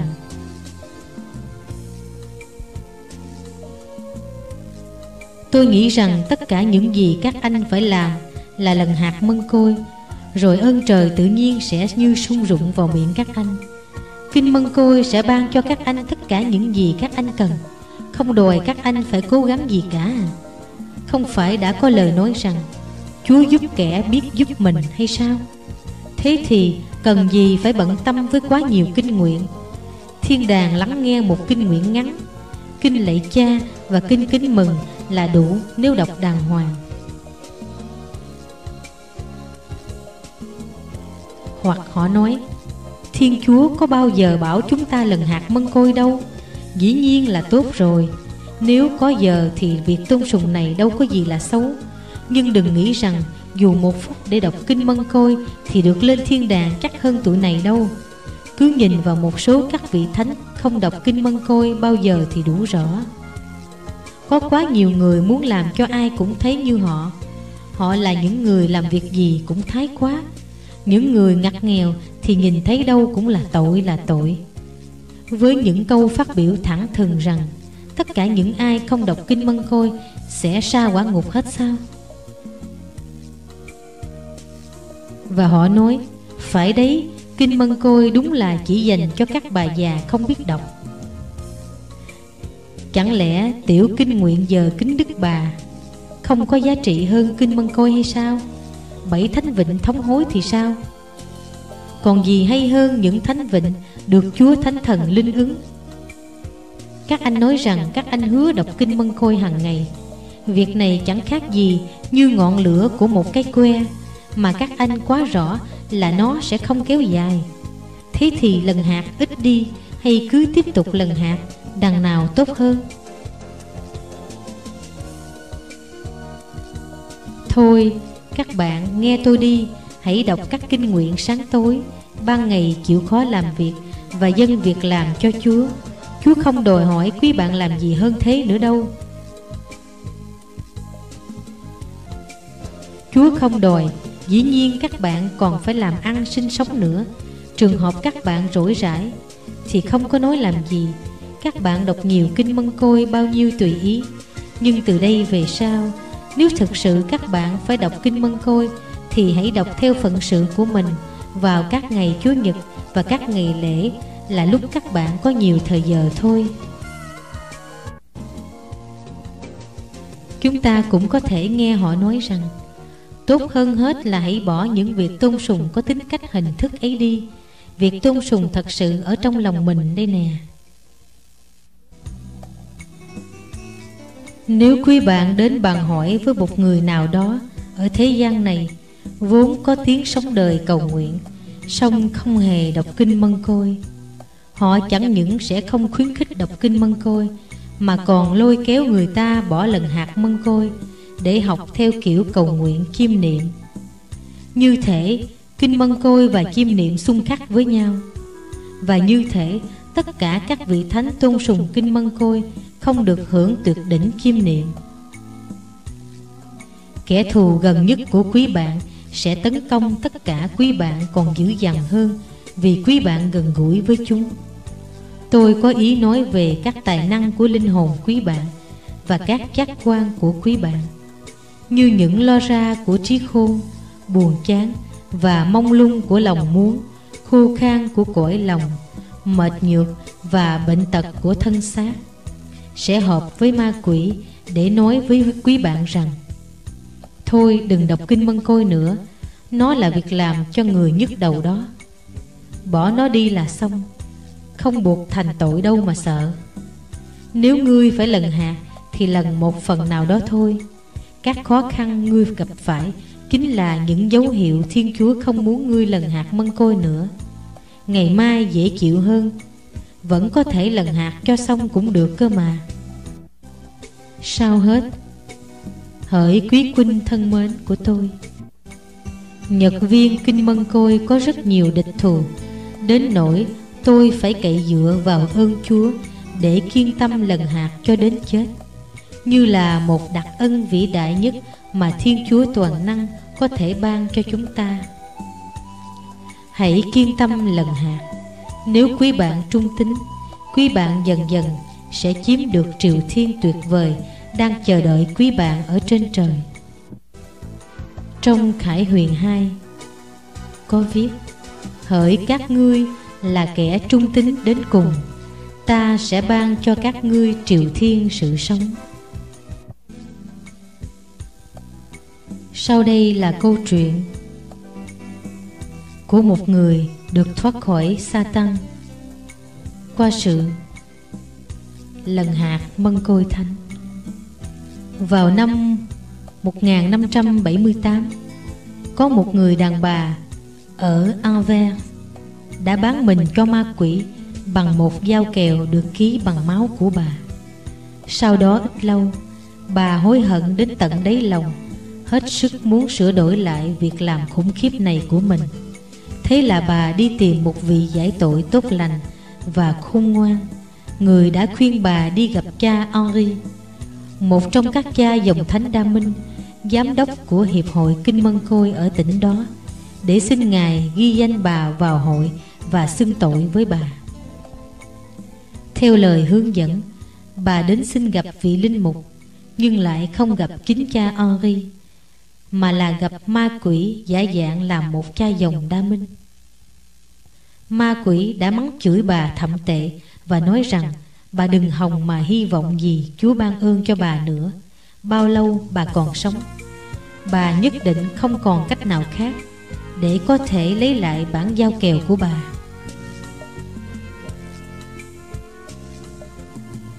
Việc này làm cho bà rất buồn song bà vẫn chưa hoàn toàn mất lòng trong cậy vào lòng thương xót của Chúa. Bà lại đến tìm với cha Henri một lần nữa, song bà cũng chỉ gặp lại ma quỷ với cùng một thái độ thậm tệ như lần trước. Bà cố đến lần thứ ba và cũng là lần chót thì theo sự quan phòng thần linh, bà gặp được cha Henri, vị linh mục mà bà tìm kiếm và Ngài đã đối xử với bà hết sức nhân hậu. thôi thúc bà hãy mau sắp mình xuống trước lòng nhân từ của Thiên Chúa Toàn Năng để thật lòng xưng thú tội lỗi của mình. Đoạn Ngài nhận bà vào Hiệp hội Kinh Mân Côi và bảo bà năng đọc Kinh Mân Côi. Một ngày kia, cha Henri đang dâng lễ cho bà thì Đức Mẹ buộc ma quỷ phải trả lại bản giao kèo cho bà. Như thế là bà đã được cứu khỏi ma quỷ. Bởi quyền phép của mẹ Maria và nhờ lòng tôn sùng phép lần hạt rất thánh mân côi của bà.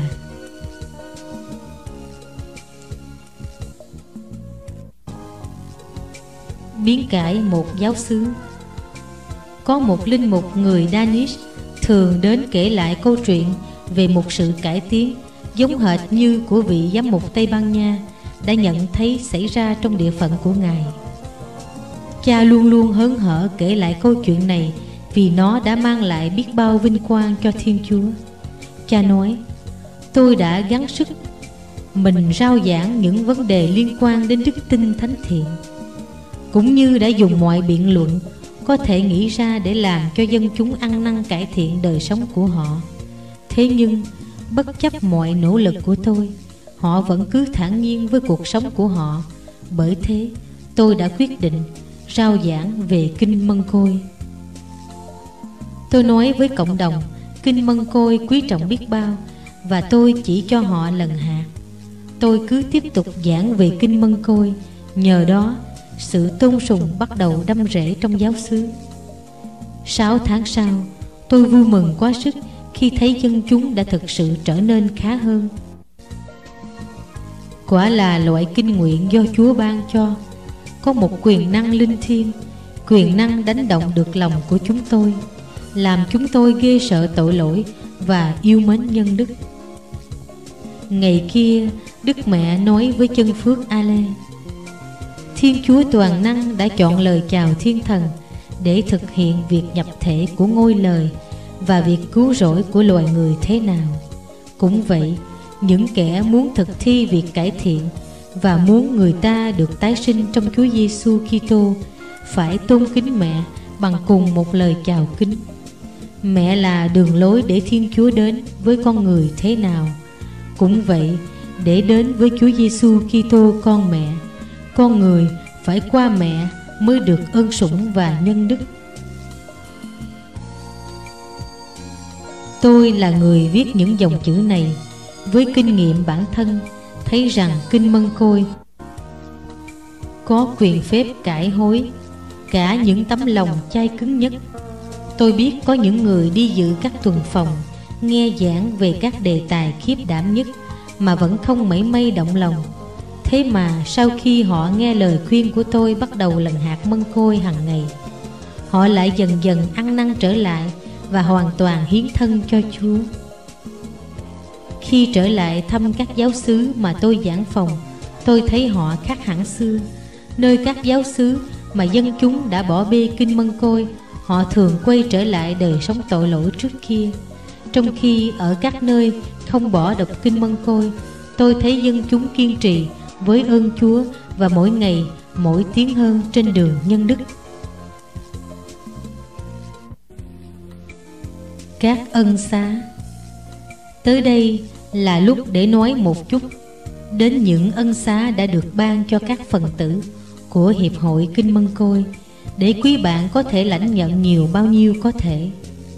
Nói vắn tắt, ân xá là một sự xóa bỏ hay giảm bớt hình phạt tạm thời gây ra bởi các tội phạm. Nhờ việc ứng dụng muôn vàng công nghiệp của Chúa Giêsu Kitô, của Đức Trinh Nữ Maria và của các thánh được tích chứa trong kho tàng của giáo hội. Đại xá là một sự xóa bỏ hình phạt nặng tùy theo tội. Tiểu xá, thí dụ 100 năm hay 1.000 năm, có thể hiểu là sự xóa bỏ hình phạt đáng lẽ một người phải đền tội. Theo các khoản giáo luật cũ của giáo hội, tương đương với cả trăm năm hay cả ngàn năm.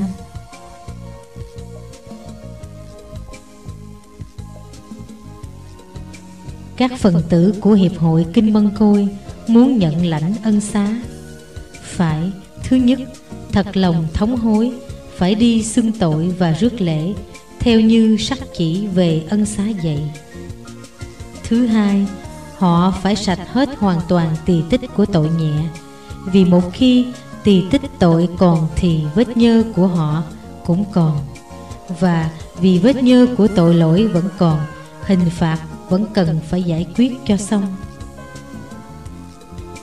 Thứ ba, họ phải đọc các kinh nguyện và làm việc lành phúc đức như sắc chỉ ấn định.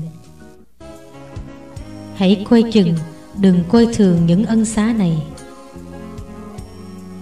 Flamin và một số đông các người viết khác kể câu chuyện về một thiếu nữ trẻ quý phái tên là Alison một người đã trở lại như một phép lạ và đã được Thánh Đa Minh cho ghi tên gia nhập hiệp hội rất thánh mân côi.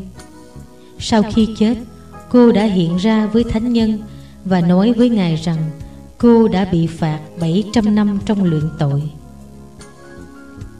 Vì tội riêng của cô và tội mà cô đã làm cho kẻ khác vấp phạm bởi lối sống theo thế gian của cô. Vậy cô xin Thánh Nhân giảm bớt những đớn đau của cô bằng các kinh nguyện của Ngài và xin các phần tử của Hiệp hội cũng cầu cho cô nữa. Thánh Đa Minh đã làm theo như lời cô xin. Hai tuần sau, cô lại hiện ra với Thánh Nhân, sáng láng hơn mặt trời. Sau khi được giải thoát, mau chóng khỏi luyện tội nhờ những kinh nguyện của các phần tử Hiệp hội đã đọc cho cô. Cô cũng nói với Thánh Đa Minh rằng, các đẳng trong luyện ngục, nhờ cô chuyển lời xin Thánh Nhân, hãy tiếp tục rao giảng kinh mân côi. Và xin các thân nhân của họ, dân kinh mân côi cầu cho họ. Họ sẽ trả ơn bội hậu cho những người ấy sau khi họ được vinh quang.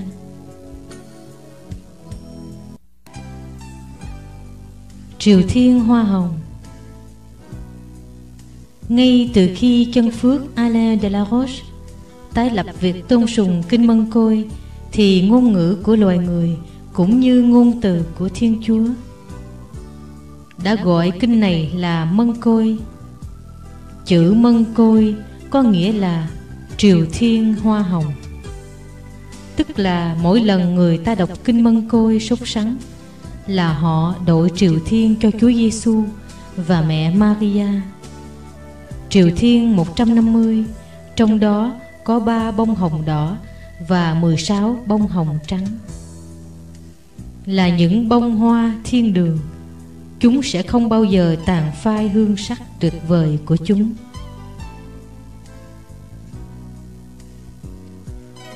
Đức mẹ đã tỏ ra hoàn toàn ưng ý với cái tên mân côi này. Mẹ đã cho một số người biết rằng Mỗi lần họ đọc một kinh kính mừng Là họ dâng cho người một bông hồng đẹp. Và mỗi khi họ đọc xong một tràng mân côi Là họ làm cho người một vòng vương miệng hoa hồng. Thầy Alfonso Rodriguez là một tu sĩ nổi tiếng của dòng tên, Thường đọc kinh mân côi sốt sắng đến nỗi Thầy thấy bông hồng đỏ thoát ra từ miệng thầy. Mỗi khi thầy đọc kinh lại cha. Và thấy hoa hồng trắng cũng từ miệng thầy mà ra Mỗi khi thầy đọc kinh kính mừng. Những bông hồng đỏ và trắng này đều có hương sắc tương đương nhau, Chỉ khác nhau về phần màu sắc mà thôi. Những tích truyện về Thánh Francisco cũng kể rằng có một thầy dòng trẻ tuổi, Có thói quen lần hạt một vòng hoa hồng, Tức là một tràng mân côi mỗi ngày trước buổi tối.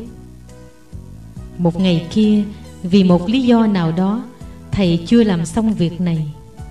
Mặc dù chuông báo hiệu bữa tối đã điểm, Thầy cũng đến xin phép bề trên cho thầy làm xong việc này trước Trước khi dùng bữa. Được phép Thầy lui về phòng của mình để cầu nguyện. Thầy đi được một lúc lâu, Bề trên sai một thầy khác đi tìm. Và thầy được sai này, Thấy thầy ấy trong phòng đầy tràn ánh sáng, Đang đối diện với Đức Mẹ, Có hai thiên thần hầu cận. Những bông hồng xinh đẹp cứ phát ra từ miệng thầy mỗi khi thầy ấy đọc kinh kính mừng. Hai thiên thần cầm lấy từng bông một đặt lên đầu đức mẹ, và đức mẹ tươi cười nhận lấy chúng. Sau cùng, hai thầy khác được bề trên sai đi tìm hai thầy trước, cũng thấy cùng một cảnh tượng dịu dàng, êm ái như vậy. Và đức mẹ chỉ biến đi cho đến khi thầy ấy lần xong trọn một tràng kinh mân côi.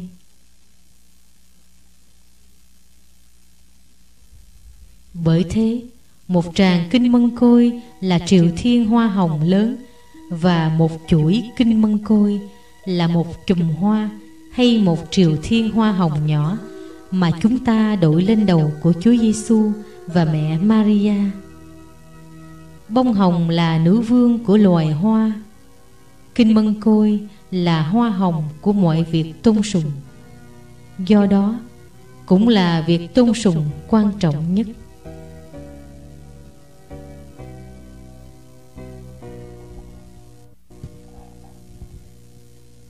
Đức mẹ chẳng những chúc lành cho những ai rao giảng kinh mân côi. Người còn ban thưởng bội hậu cho những ai nhờ gương lần hạt mân côi của mình Cũng làm cho người khác bắt chước đọc theo. Alfonso, vua nước Leon và Galicia Rất muốn cho tất cả mọi người tôi tớ của vua tôn kính rất thánh trinh nữ Bằng việc lần hạt mân côi. Bởi đó Vua có thói quen treo cổ tràng hạt lớn ở dây thắt lưng của mình và luôn luôn đeo sợi dây thắt lưng này. Song chỉ khổ nổi, chính vua lại không bao giờ đọc kinh mân côi. Tuy nhiên, việc đeo tràng hạt của vua đã khích lệ triều thần của vua đọc kinh mân côi rất là sốt sắng. Một ngày kia, vua lâm bệnh nặng và đến lúc hấp hối. Trong một thị kiến, Vua thấy mình đang đứng trước tòa phán xét của Chúa. Nhiều ma quỷ cũng ở đó tố cáo vua Về các tội vua đã phạm. Đang lúc Chúa là thẩm phán tối cao, Sắp sửa luận phạt vua cho vào hỏa ngục, Thì Đức Mẹ xuất hiện biện hộ cho vua. Đức Mẹ truyền lấy một cái cân, Một bên để các tội của vua và một bên để cổ tràng hạt vua luôn luôn đeo bên mình, cùng với các kinh mân côi đã được đọc lên nhờ gương đeo tràng hạt của vua. Kết quả là cổ tràng hạt nặng hơn các tội của vua. Nhìn vua một cách hết sức nhân hậu, đức mẹ nói, để thưởng công cho một chút tôn vinh mà con đã dành cho mẹ, bằng cách đeo tràng hạt mân côi Mẹ đã xin con mẹ, Cho con một ơn rất lớn lao. Con sẽ sống thêm mấy năm nữa. Mong rằng con khôn ngoan, Sống những ngày này Bằng việc ăn năn thống hối. Hồi tỉnh, Vua kêu lên, Chúc tụng kinh mân côi Của rất thánh đồng trinh Maria Đã cứu trẫm khỏi đời đời trầm luân. Sau khi bình phục, Vua đã sống những ngày còn lại bằng việc truyền bá lòng tôn sùng kinh mân côi và trung thành đọc kinh mân côi mỗi ngày. Người nào yêu mến rất thánh trinh nữ cũng phải theo gương của vua Alfonso và của các thánh mà tôi đề cập tới để họ lôi kéo thêm nhiều linh hồn cho hiệp hội kinh mân côi. Họ sẽ nhận được nhiều ơn trên đời này và sự sống đời đời sau này ai rao giảng về ta sẽ sống đời đời.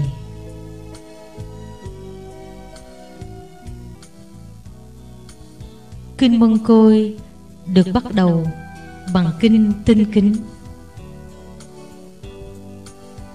Kinh tinh kính hay là tiêu biểu của các thánh tông đồ được đọc khi bắt đầu lần đến cây thánh giá ở ngay đầu tràng chuỗi là một bản tóm lược trọn hảo tất cả chân lý Kitô giáo.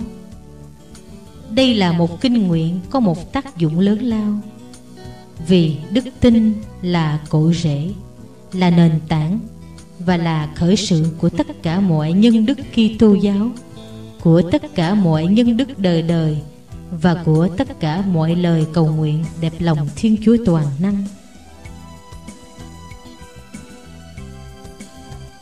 Ai đến với Thiên Chúa phải tin tưởng. Bất cứ ai muốn đến với Thiên Chúa, trước hết phải tin tưởng và càng tin kinh nguyện của họ càng đáng công càng có thần lực và càng tôn vinh thiên chúa ở đây, tôi sẽ không cắt nghĩa kinh tinh kính từng ly từng tí, nhưng tôi không thể không đặc biệt đề cập đến những chữ đầu tiên. Tôi tin kính đức chúa trời là những chữ vốn có một công hiệu lạ lùng trong việc thánh hóa linh hồn chúng ta và khu trừ ma quỷ. Vì những chữ này bao gồm tác động của ba thần đức là đức tin, đức cậy đức mến. Chính nhờ đọc tôi tin kính đức chúa trời mà các thánh đã chiến thắng các cơn cám dỗ. Đặc biệt là các cơn cám dỗ nghịch lại đức tin, đức cậy và đức mến. Tấn công các ngài trong đời sống hay trong giờ lâm tử. Đây cũng là những lời cuối cùng của thánh phêrô tử đạo. Một người lạc đạo đã chặt đầu thánh nhân ra làm hai bằng nhát gươm hung ác. Và thánh phêrô mặc dù đang hấp hối chết, bằng một cách nào đó, đã dùng ngón tay của mình để viết xong những lời này trước khi tắt thở. Kinh Mân Côi gồm chứa nhiều màu nhiệm về Chúa Giêsu và mẹ Maria, và vì đức tin là chìa khóa duy nhất để khai mở những màu nhiệm này cho chúng ta nên chúng ta phải bắt đầu đọc kinh Mân Côi bằng kinh tinh kính, hết sức sốt sắng. Càng mạnh tinh bao nhiêu, kinh Mân Côi chúng ta đọc càng đáng thưởng bấy nhiêu. Đức tin này phải sống động và phải được soi động bởi đức ái. Nói cách khác, để lần hạt mân côi cách xứng đáng, cần phải có ơn nghĩa chúa hay ít là phải tìm kiếm ơn nghĩa chúa. Đức tin này phải vững mạnh và kiên trì tức là người ta không được tôn sùng theo cảm quan hay tìm an ủi thiên liêng trong việc lần hạt mân côi, hoặc không được bỏ lần hạt vì đầu óc tràn đầy những chia trí vô ý vô tứ những cảm nghiệm chán chường trong tâm hồn và những mệt mỏi kiệt quệ, hầu như liên lỉ nơi thân xác. Cảm xúc, an ủi, chán chường chia trí hay chú ý liên lỉ của trí tưởng tượng đều không cần thiết, chỉ cần đức tin và ý hướng ngay lành là đủ. Một mình đức tin là đủ.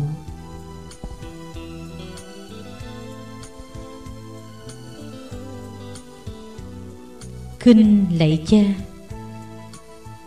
Kinh lạy cha hay kinh chúa dạy có một giá trị cao cả vượt trên mọi sự. Là vì tác giả của kinh này không phải là một con người hay thiên thần, mà là vua của triều thần thiên quốc. Và nhân quần là thiên chúa và là cứu chúa giêsu kitô của chúng ta thánh cipriano nói rằng, chỉ có cứu chúa, đấng mà chúng ta được sinh vào đời sống ân sủng, mới đáng là vị thầy siêu phàm của chúng ta và mới đáng dạy chúng ta cầu nguyện. Kết cấu tuyệt vời, tác động êm ái và sự trong sáng của kinh nguyện thần linh này nói lên sự khôn ngoan của vị sư phụ thần linh của chúng ta đó là một kinh ngắn gọn, nhưng có thể dạy chúng ta rất nhiều. Kinh này hay ho trong tầm mức hiểu biết của người vô học, và cũng là nguồn suy niệm khôn cùng về các mầu nhiệm đức tin cho giới học thức. Kinh lạy cha chứa đựng tất cả những phận sự của chúng ta đối với Thiên Chúa. Những tác động của mọi nhân đức Và những lời khấn nguyện cho cả nhu cầu về tinh thần cũng như vật chất của chúng ta. Ông Tertulliano nói rằng, Kinh Lạy Cha là một bản tóm tắt tân ước. Thánh Thomas Kempi nói rằng, Kinh này vượt trên mọi ước muốn của các thánh, Là đúc kết tất cả mọi lời hay ý đẹp của các thánh vịnh và thánh ca. Chúng ta xin Chúa, mọi sự chúng ta cần nơi kinh này. Chúng ta chúc tụng Ngài xứng đáng nhất bằng kinh này. Chúng ta nâng linh hồn chúng ta từ đất lên đến trời Để kết hợp với Thiên Chúa nhờ kinh này. Thánh Gioan Chrysostomo nói rằng, Chúng ta không thể là môn đệ của Thầy mình Nếu chúng ta không cầu nguyện như người đã làm. Và theo đường lối người đã dạy chúng ta. Hơn nữa, Thiên Chúa là cha Vốn thích lắng nghe kinh nguyện mà chúng ta được con Ngài dạy cho.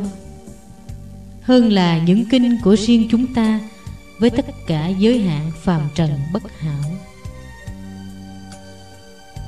Chúng ta phải đọc kinh lạy cha với một lòng tin tưởng Chúa Cha Hằng Hữu sẽ nhậm lời kinh nguyện này là kinh nguyện của con Ngài, đấng mà Ngài luôn lắng nghe.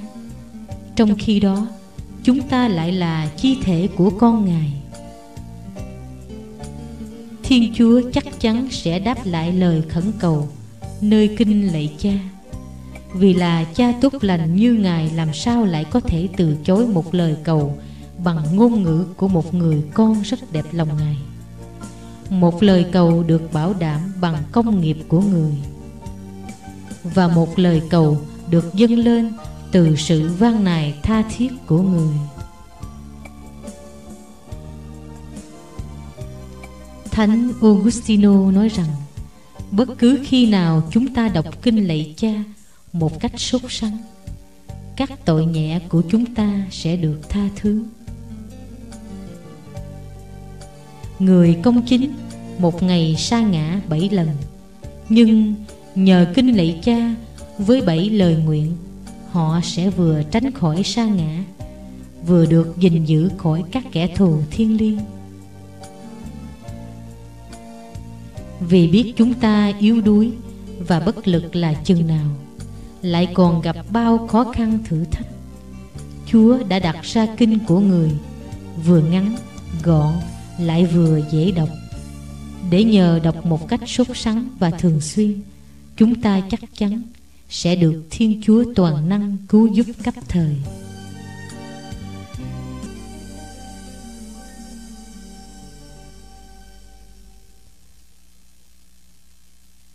Hỡi các linh hồn đạo hạnh, những người ít để ý đến kinh mà con thiên chúa đã ban cho chúng ta và bảo chúng ta luôn luôn đọc kinh ấy Tôi xin quý bạn Là đã đến lúc quý bạn nên nghĩ lại đi.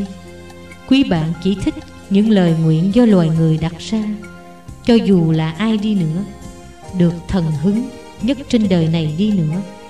Cũng không thể nào biết cách phải cầu nguyện hơn chính Chúa Giêsu Kitô. Quý bạn tìm kiếm những kinh nguyện trong các sách Do bàn tay phàm nhân viết ra, Làm như quý bạn cảm thấy xấu hổ khi đọc kinh Chúa dạy chúng ta cầu nguyện vậy.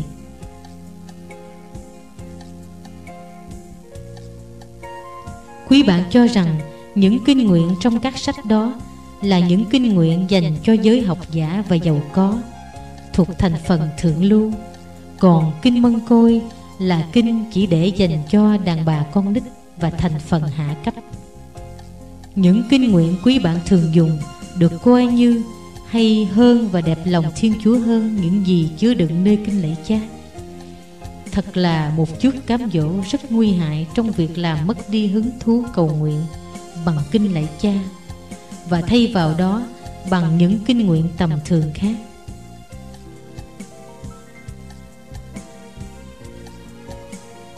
Kinh Mân Côi bao gồm kinh lạy cha và lời chào thiên thần là một dòng nước trong hằng tuôn chảy từ mạch ân sủng. Trong khi những kinh nguyện khác nơi các sách vở, chẳng là gì khác, ngoài những tia nước nhỏ xíu cũng phát xuất từ cùng một nguồn mạch này. Ai đọc kinh lạy cha cẩn thận, để ý từng chữ, suy niệm từng lời, đúng là người có phúc vì họ tìm thấy mọi sự mà họ cần hay mong ước. Khi chúng ta đọc kinh nguyện tuyệt diệu này, chúng ta chạm đến ngay trái tim của thiên chúa.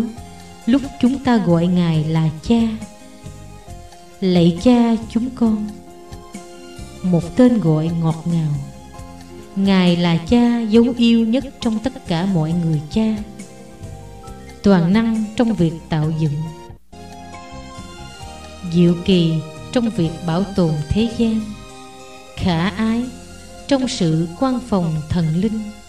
Và luôn vô cùng thiện hảo trong ơn cứu độ của ngài. Thiên chúa là cha chúng ta.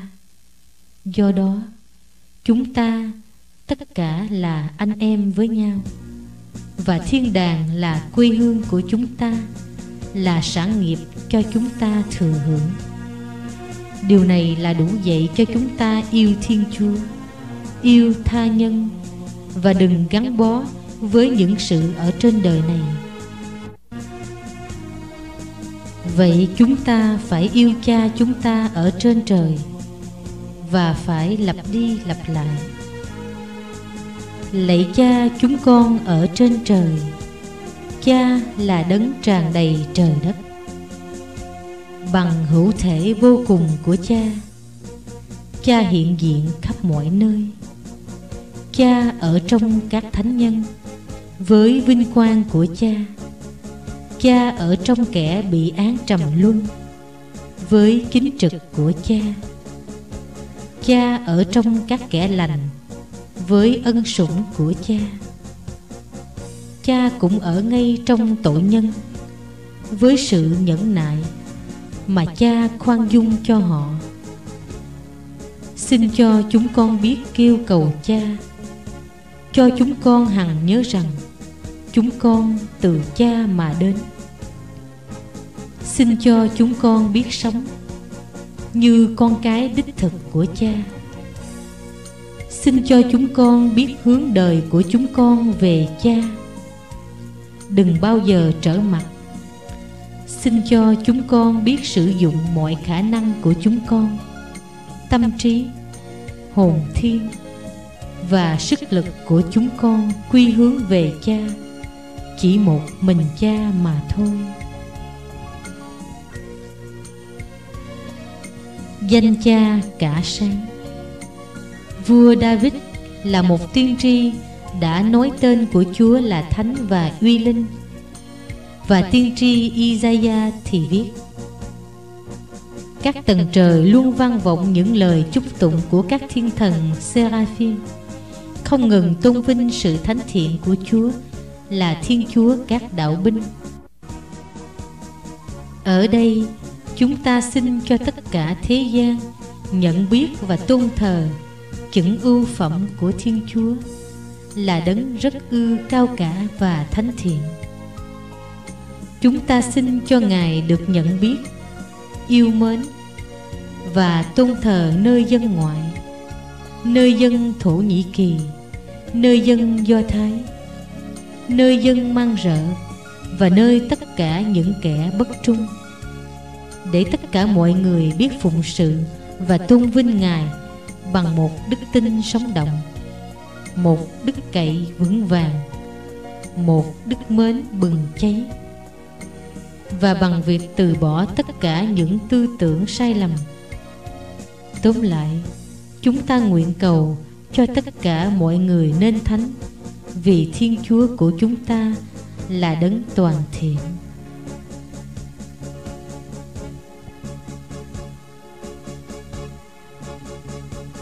Nước cha trị đến. Xin cha cai trị linh hồn chúng con bằng ân sủng của cha, để sau khi chết, chúng con được xứng đáng cai trị với cha. Trong vương quốc của cha, trong vĩnh phúc tuyệt vời. Ôi lạy chúa, chúng con vững tin, vĩnh phúc này sẽ đến. Chúng con hy vọng và trông đợi vĩnh phúc ấy vì chúa là cha, đã hứa ban cho theo lòng nhân lành cao cả của cha. Vĩnh phúc đã được chuộc lấy cho chúng con, bằng công nghiệp của thiên chúa ngôi con và chúa thánh linh đấng là ánh sáng đã tỏ vĩnh phúc ấy cho chúng con.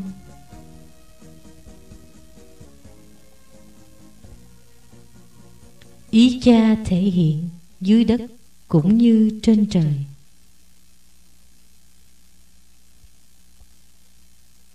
Khi chúng ta đọc ý cha thể hiện là chúng ta xin thiên chúa cho chúng ta hạ mình xuống, chấp nhận tất cả những gì ngài thấy đáng gửi đến cho chúng ta ở đời này. Chúng ta cũng xin ngài giúp cho chúng ta thực hiện trong mọi sự và mọi lúc thánh ý ngài được tỏ ra cho chúng ta qua các giới răng. Một cách mau mắn, thiết tha và bền vững như các thần thánh ở trên trời. Xin cho chúng con lương thực hàng ngày. Chúa dạy chúng ta xin thiên chúa tất cả mọi sự chúng ta cần, cả về tinh thần lẫn vật chất. Khi xin lương thực hàng ngày cho mình. Chúng ta khiêm tốn, chấp nhận sự nghèo khổ, lẫn thiếu thốn của mình trước nhan thiên chúa. Nhận biết rằng tất cả mọi vật dụng ở đời tạm này đều từ sự quan phòng thần linh của ngài mà có. Khi chúng ta đọc lương thực là chúng ta xin điều cần đủ để sống thôi chứ không bao gồm cả những điều sang trọng. Chúng ta xin lương thực cho hôm nay. Nghĩa là chúng ta chỉ để ý đến hiện tại thôi. Còn ngày mai thì phó trong sự quan phòng của chúa. Và khi chúng ta xin lương thực hàng ngày, là chúng ta chân nhận rằng chúng ta cần thiên chúa nâng đỡ hàng ngày. Chúng ta hoàn toàn lệ thuộc vào việc ngài giúp đỡ và phù trì chúng ta.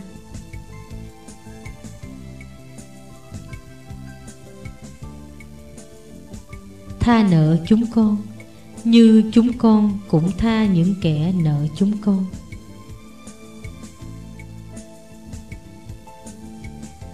Thánh augustino và ông tertulliano nói, mỗi tội là một món nợ chúng ta mắc với thiên chúa toàn năng.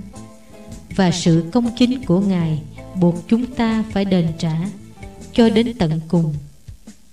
Bất hạnh thay, tất cả chúng ta đều mắc với chúa những món nợ tệ hại này.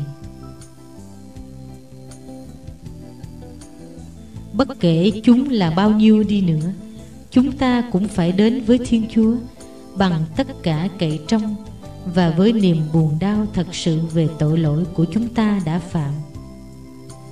Và thưa với chúa rằng, lạy cha ở trên trời của chúng con, xin cha tha cho chúng con những tội trong tư tưởng và lời nói. Tha cho chúng con những tội cố tình và vô ý đã làm cho chúng con đời đời nhơ nhớp trước ánh nhìn thần linh công chính của cha. Chúng con dám xin điều này vì cha là cha xót thương và yêu thương của chúng con và vì chúng con tha cho những kẻ phạm đến chúng con. Do chúng con vâng lời cha dạy theo đức bác ái.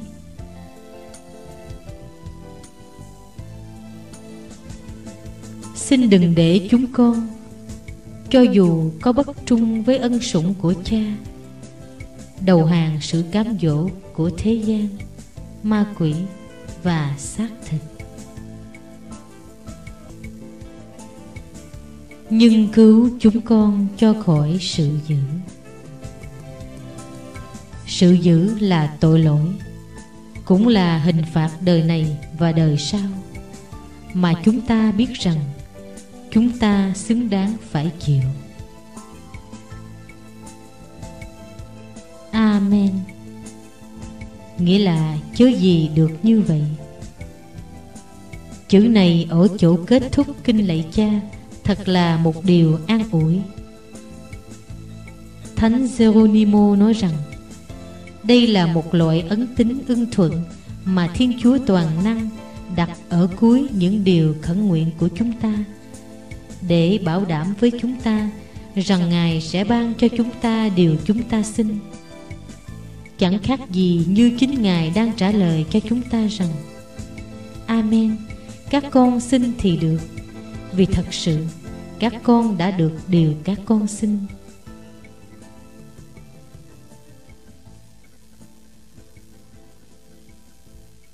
Mỗi lời của kinh lạy cha là một lời chúng ta tuyên tụng thiên chúa thiện hảo.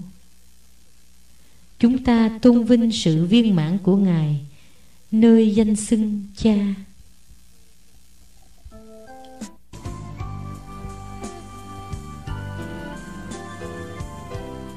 Khi đọc, lạy cha, chúng con ở trên trời. Chúng ta thực hiện các tác động của đức tin, đức thờ phượng và đức khiêm nhượng. Khi chúng ta xin cho danh cha cả sáng chúng ta bày tỏ lòng nhiệt thành bừng cháy cho vinh quang của ngài. Khi chúng ta xin cho nước ngài rộng lan chúng ta thực hiện tác động của đức cậy. Với ước mong cho ý cha thể hiện dưới đất cũng như trên trời. Chúng ta tỏ ra tinh thần vân phục trọn hảo. Khi xin cho mình lương thực hàng ngày, chúng ta thực hiện sự nghèo khó trong tinh thần và thoát ly khỏi các sự vật trần thế. Khi chúng ta xin ngài tha nợ chúng con. Là chúng ta thực hiện tác động ăn năn, đau đớn, tội lỗi.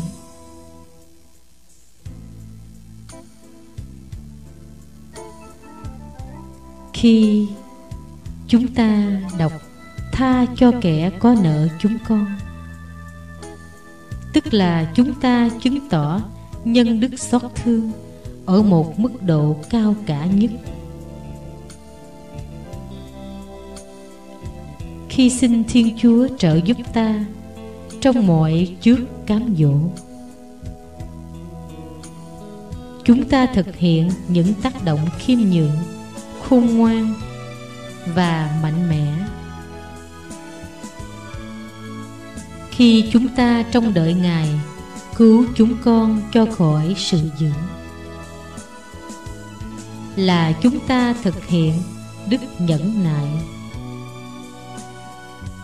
Sau hết, khi chúng ta xin tất cả những điều này, không phải chỉ cho một mình chúng ta mà thôi, nhưng còn cho cả tha nhân và mọi chi thể của giáo hội. Là chúng ta đang thi hành bổn phận làm con cái thực sự của thiên chúa. Là chúng ta đang bắt chước tình yêu của ngài bao gồm tất cả mọi người. Và chúng ta đang tuân giữ giới răng yêu thương nhau vậy. Nếu chúng ta thật lòng muốn như điều chúng ta đọc nơi môi miệng và nếu ý hướng của chúng ta không chênh lệch với những điều diễn đạt nơi kinh lạy cha thì nhờ đọc kinh này chúng ta sẽ ghét mọi tội lỗi và giữ tất cả mọi lề luật của Chúa. Bởi vì bất cứ khi nào chúng ta nghĩ đến Thiên Chúa đang ở trên trời, cách biệt chúng ta bởi sự cao cả vô cùng của Ngài là chúng ta đặt mình trước nhan Ngài. Chúng ta sẽ được bao phủ trong sự uy linh tràn đầy. Bây giờ Sự kính sợ Chúa Sẽ làm tiêu tán mọi kiêu căng và chúng ta sẽ sắp mình trước Thiên Chúa Trong sự hư vô tuyệt đối của chúng ta. Khi chúng ta đọc danh xưng Cha Và nhớ rằng chúng ta hiện hữu là do Chúa qua cha mẹ của chúng ta, kể cả những sự hiểu biết qua các thầy dạy của chúng ta, các vị ấy là những người thay thiên chúa và là hình ảnh sống động của thiên chúa, mà chúng ta không thể nào không tôn kính và trọng kính. Hay nói cho đúng hơn, tôn kính thiên chúa nơi các vị ấy. Bởi đó, ngay cả trong tư tưởng của chúng ta cũng không được bất kính hay làm phiền khổ các vị ấy. Chúng ta không thể nào lộng ngôn khi chúng ta nguyện cho danh cha cả sáng. Nếu chúng ta thực sự coi nước thiên chúa như gia nghiệp của mình chúng ta không thể nào lại dính bén với những sự vật trần gian. Nếu chúng ta chân thành xin Thiên Chúa cho anh em mình có cùng một ơn phúc như chúng ta cần Tự nhiên chúng ta sẽ bỏ qua hết những thù ghét, cãi lẫy và hờn giận. Dĩ nhiên nếu chúng ta xin Thiên Chúa, mỗi ngày cho chúng ta lương thực hàng ngày, Chúng ta sẽ gớm ghét sự tham lam và nhục dục đầy dẫy vây bọc cuộc sống của chúng ta khi thành khẩn xin Thiên Chúa, tha nợ chúng con, như chúng con cũng tha kẻ có nợ chúng con. Chúng ta không để cho sự giận dữ và những tư tưởng thù hận xảy ra. Chúng ta lấy ơn báo oán và thực sự yêu các kẻ thù của mình. Khi xin Thiên Chúa cứu chúng con cho khỏi tội lỗi lúc bị cám dỗ, là chúng ta tỏ ra đang chiến đấu với sự lười biếng và đang hết sức tìm cách tiêu trừ những thối hư để tiến đến với ơn cứu độ của mình. Khi cầu xin Thiên Chúa cứu chúng con cho khỏi sự dữ là chúng ta tỏ ra kính sợ sự công chính của Ngài, và nhờ đó, chúng ta sẽ được hạnh phúc thật bởi vì, kính sợ Thiên Chúa là đầu mối sự khôn ngoan, và nhờ nhân đức kính sợ Thiên Chúa mà con người xa lánh tội lỗi.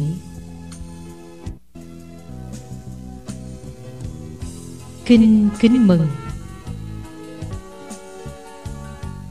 Chân phước Alain de la Roche cho rằng, Lời thiên thần chào kính Đức Mẹ có một ý nghĩa siêu việt đến nỗi không một tạo vật thuần túy nào có thể hiểu thấu, mà chỉ có Chúa Giêsu Kitô, Chúa chúng ta đấng sinh bởi rất thánh trinh nữ Maria mới có thể cắt nghĩa cho chúng ta mà thôi. Giá trị lớn lao của lời chào kính này, trước hết, ở nơi Đức Mẹ là đấng mà lời chào nhắm tới. Sau nữa, ở nơi mầu nhiệm nhập thể mà kinh nguyện này được trời cao sáng tạo và sau hết ở nơi tổng thần Gabriel là vị đầu tiên sướng lên. Lời chào kính của thiên thần này là bản tóm lược ngắn gọn nhất về tất cả những gì mà nền thần học công giáo nói đến rất thánh trinh nữ Maria. Lời này được chia ra làm hai phần. Phần đầu diễn tả tất cả những gì làm nên sự cao cả của Đức Mẹ. Và phần tiếp theo, diễn tả tất cả những gì chúng ta cần xin với người, Cũng như mong nhận được từ lòng từ mẫu của mẹ Thiên Chúa Ba Ngôi rất thánh đã mặc khải phần nhất của lời chào này cho chúng ta và phần sau được bà Thánh Isave thêm vào theo ơn linh ứng của Thánh Linh. Mẹ Thánh Giáo hội đã ban cho chúng ta phần kết vào năm 430.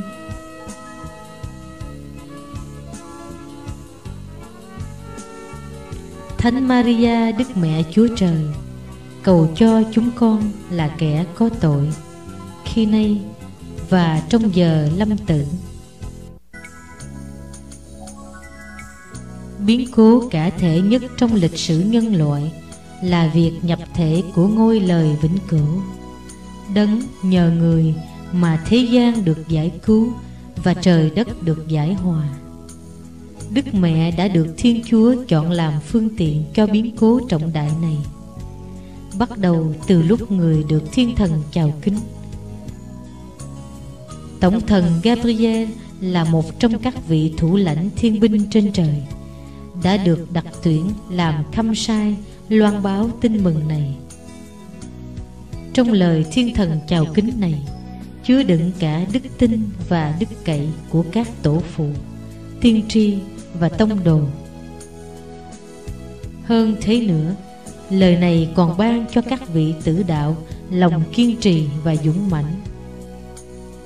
Còn là sự khôn ngoan của các vị tiến sĩ trong giáo hội, và còn là sự trung kiên cho các vị giải tội thánh đức cũng như cho đời sống của các linh hồn tận hiến.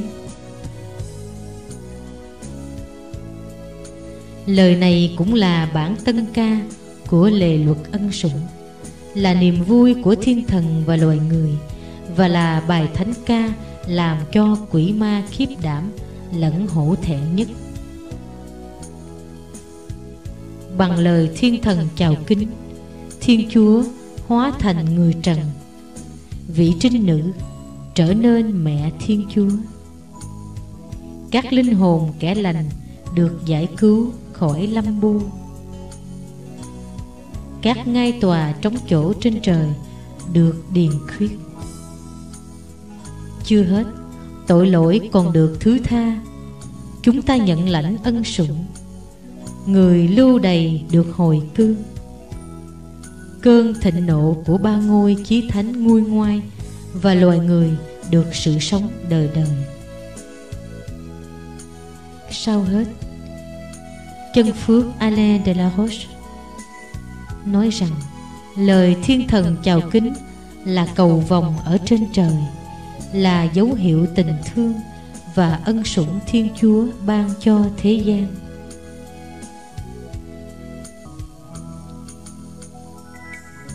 Cho dù không có gì cao cả hơn sự uy nghi của thiên chúa và không gì thấp hèn hơn loài người trong tư thế là một tội nhân, thiên chúa toàn năng vẫn không khinh chê lời cầu nguyện tầm thường của chúng ta. Ngược lại, ngài hài lòng khi chúng ta chúc tụng ngài. Lời tổng thần gabriel chào kính đức mẹ là một trong những lời ca tuyệt diệu nhất mà chúng ta có thể chúc tụng vinh quang đấng tối cao trong Thánh Vịnh 143 câu 9 con sẽ chúc tụng Chúa một bài ca mới. Bài ca mới này, Thánh Vương David đã nói tiên tri, Được xuống lên khi đấng cứu thế đến Không là gì khác ngoài lời thiên thần chào kính này có một bài ca cũ và một bài ca mới. Bài ca cũ là bài dân Do Thái hát tạ ơn Thiên Chúa, Đã tạo dựng nên họ và bảo tồn họ hiện hữu, đã giải thoát họ khỏi làm nô lệ và dẫn họ qua biển đỏ, đã cho họ mana và tất cả các ơn lành khác. Bài ca mới là bài Kitô hữu hát tri ân và các ân huệ của việc nhập thể và cứu thế. Vì những sự kỳ diệu này được hàm chứa nơi lời thiên thần chào kinh Mà chúng ta cần phải lặp lại để tạ ơn Thiên Chúa Ba Ngôi Chí Thánh Về sự thiện hảo vô biên của Ngài đối với chúng ta. Chúng ta chúc tụng Thiên Chúa là Cha, Vì Ngài quá yêu thế gian Đến nỗi đã ban con một ngày cho chúng ta, Làm Chúa cứu thế của chúng ta. Chúng ta chúc tụng Chúa Con, Vì Người đã tự ý rời bỏ trời cao xuống, Làm người để cứu chuộc chúng ta.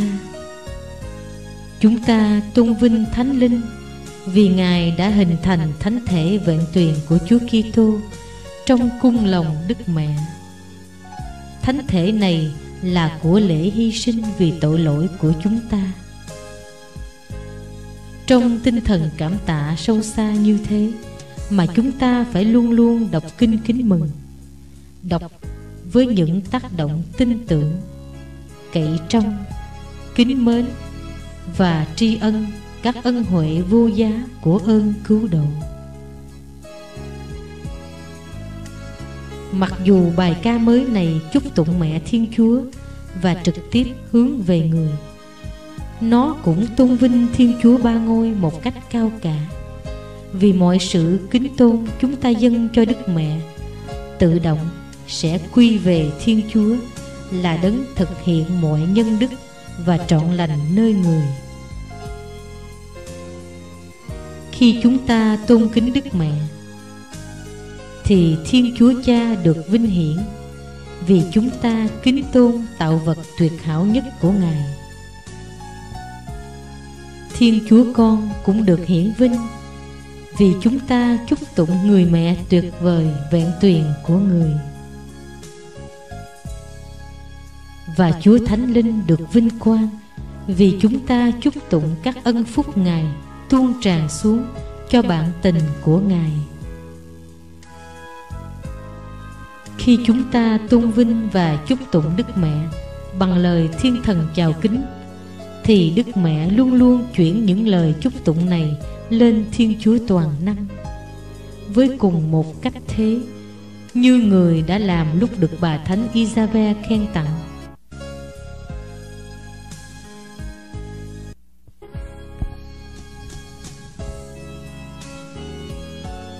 Bà thánh Isabel đã khen tặng tước vị cao cả nhất của người là mẹ Thiên Chúa. Và Đức Mẹ lập tức đã dâng những lời khen tặng này lên Chúa bằng bài ca vịnh Magnificat của người. Nếu lời thiên thần chào kính tôn vinh Thiên Chúa ba ngôi thế nào, lời này cũng là lời chúc tụng Đức Mẹ hơn hết mà chúng ta có thể dâng lên người. Một ngày kia, Thánh Methide đang cầu nguyện. Và cố nghĩ ra cách nào Để có thể diễn tả lòng yêu của mình Đối với Thánh Mẫu Maria.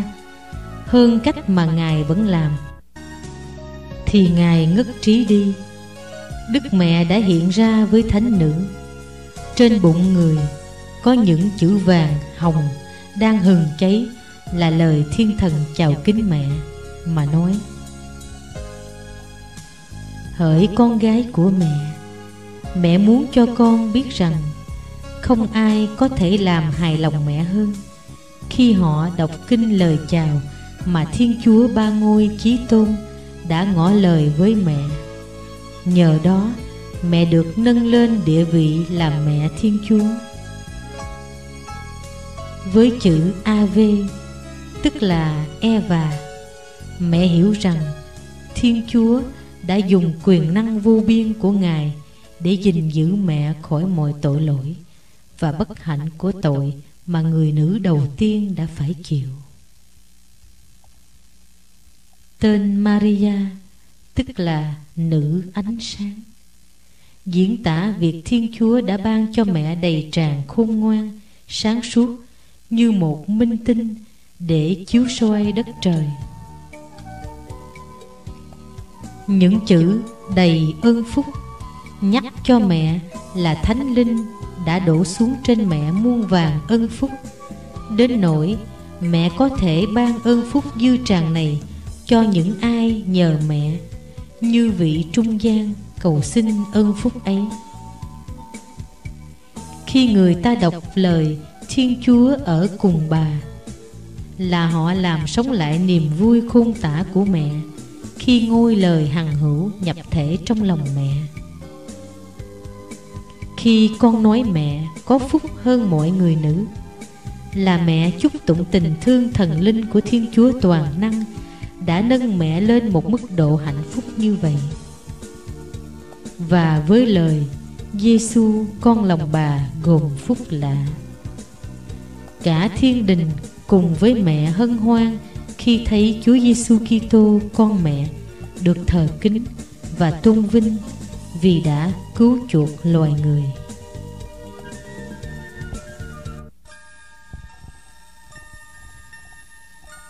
Kinh kính mừng, kinh mân côi, đọc cả tràng 15 hay chỉ một chuỗi 50 là kinh nguyện và là tiêu chuẩn không sai lầm mà căn cứ vào đó tôi có thể nói rằng, ai là người được thần linh thiên chúa hướng dẫn và ai là kẻ bị quỷ ma lừa đảo? Tôi biết có những linh hồn bay bổng giống như những con phượng hoàng ở một mức độ cao ngất trong việc chiêm niệm, mà vẫn bị ma quỷ đánh lừa một cách tội nghiệp. Tôi chỉ khám phá ra sự lầm lạc của họ khi thấy rằng họ đã coi thường kinh kính mừng và tràn hạt mân côi mà họ cho là quá thấp đối với họ. Kinh kính mừng là giọt sương ân sủng từ trời rơi xuống, trên các linh hồn được ơn tiền định. Giọt sương ân sủng này làm trổ sinh nơi họ một mùa trăm hoa nhân đức tuyệt vời đua nở. Vườn linh hồn càng được tưới gội bằng kinh nguyện này. Lý trí của linh hồn càng thông trị, tâm hồn càng nhiệt thành và khí giới chống địch thù của linh hồn càng sắc bén hơn. Kinh kính mừng là lưỡi dao bằng lửa nhọn. Cùng với lời chúa, tăng sức cho nhà giảng thuyết đâm thấu, lay động và lôi kéo những tâm hồn cứng lòng nhất. Cho dù vị giảng thuyết có ích hay chẳng có tài hùng biện gì cả như tôi nói đây đây là một bí mật trọng đại mà đức mẹ đã dạy cho thánh đa minh và cho chân phước a la để các ngài dùng trong việc hoán cải các kẻ lạc giáo hay các tội nhân.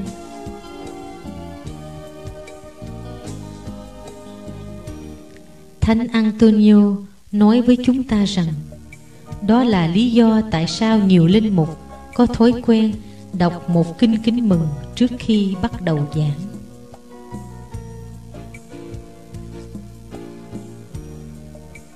Lời chào thiên quốc kéo xuống cho chúng ta muôn vàng ân phúc từ Chúa Giêsu và mẹ Maria. Vì đây là một sự thật không thể sai lầm. Đó là Chúa Giêsu và mẹ Maria ban thưởng cách kỳ diệu cho những ai tôn vinh các ngài các ngài trả lại cho chúng ta gấp trăm lần. Những lời chúc tụng chúng ta dâng lên cho các ngài. Cách ngôn tám có nói, ta yêu kẻ yêu ta. Ta làm cho kẻ yêu ta thăng tiến và đổ đầy kho tàng của họ. Chúa Giêsu và mẹ Maria như luôn nói là trong Corinto. Chúng ta yêu những kẻ yêu chúng ta. Chúng ta làm cho họ tăng tiến và làm cho kho tàng của họ tràn đầy. Ai gieo nhiều sẽ gặt nhiều. Thế thì khi chúng ta đọc kinh kính mừng một cách xứng đáng lại không phải là cách chúng ta yêu mến, chúc tụng và tôn vinh Chúa Giêsu và mẹ Maria hay sao?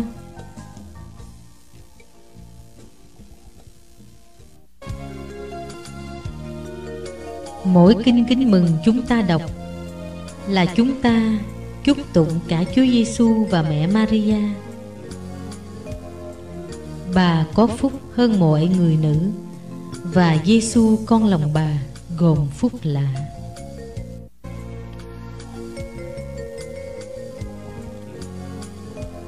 với mỗi kinh kính mừng chúng ta dâng lên cho đức mẹ, là chúng ta dâng lên mẹ cùng một niềm tôn vinh mà thiên chúa đã tỏ ra đối với mẹ.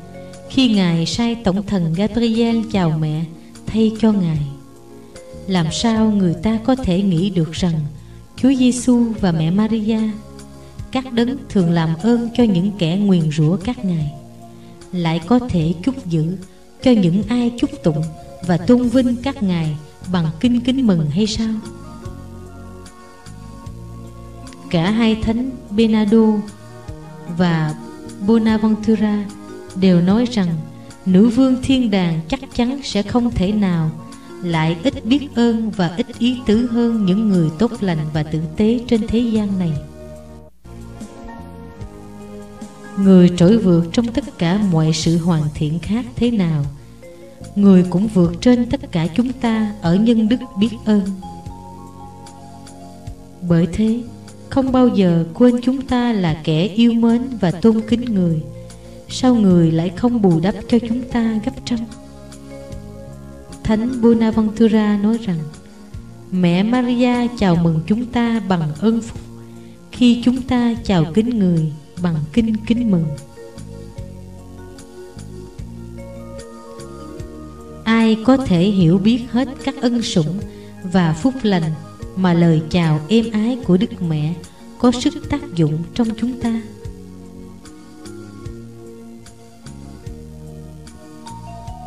Từ giây phút bà Thánh Isave vừa nghe thấy lời của mẹ Thiên Chúa chào mình, bà đã được tràn đầy thánh linh và con trong lòng bà nhảy mừng hớn hở.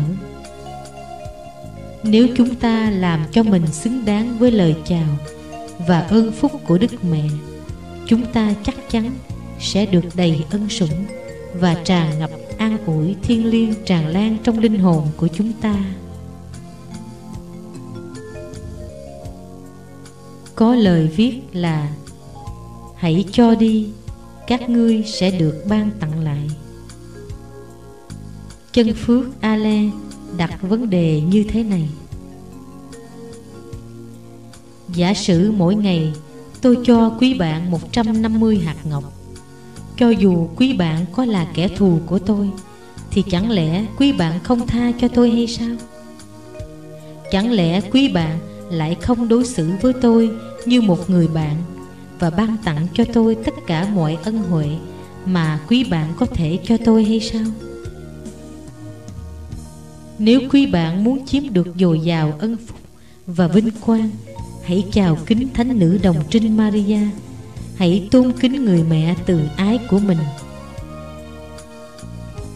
Trong huấn ca, Có nói, Ai tôn kính mẹ mình Là như kẻ đang bảo trì một kho báu vậy?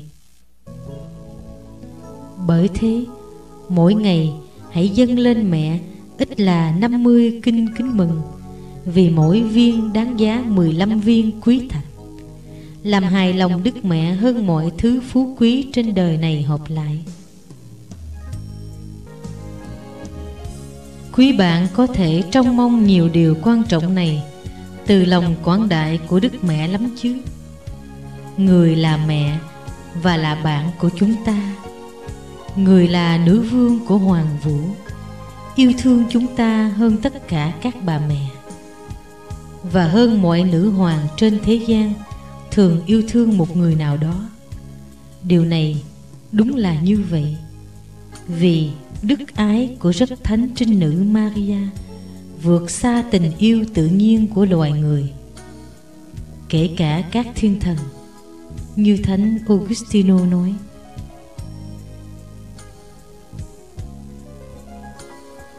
Một ngày kia, Thánh nữ Gertrude Được thị kiến Thấy Chúa Giêsu đang đếm những đồng bạc cắt bằng vàng.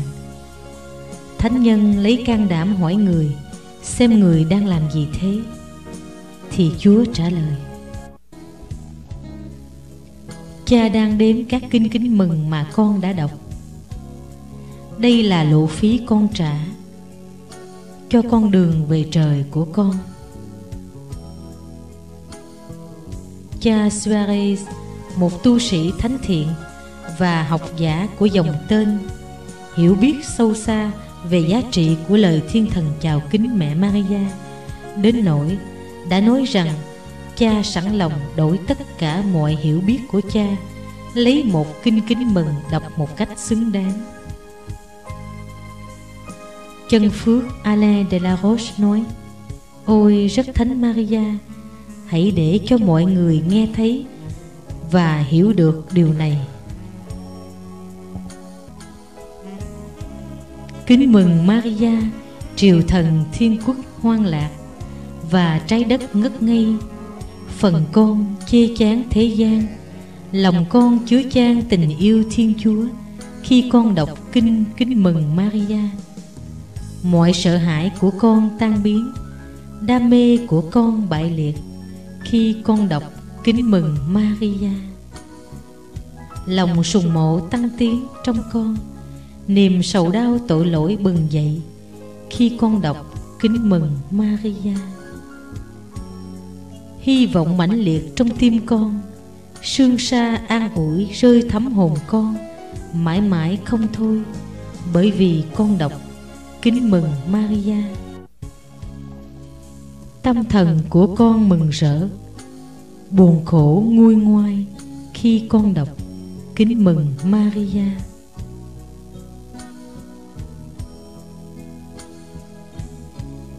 Sự ngọt ngào của lời chào phúc ân này.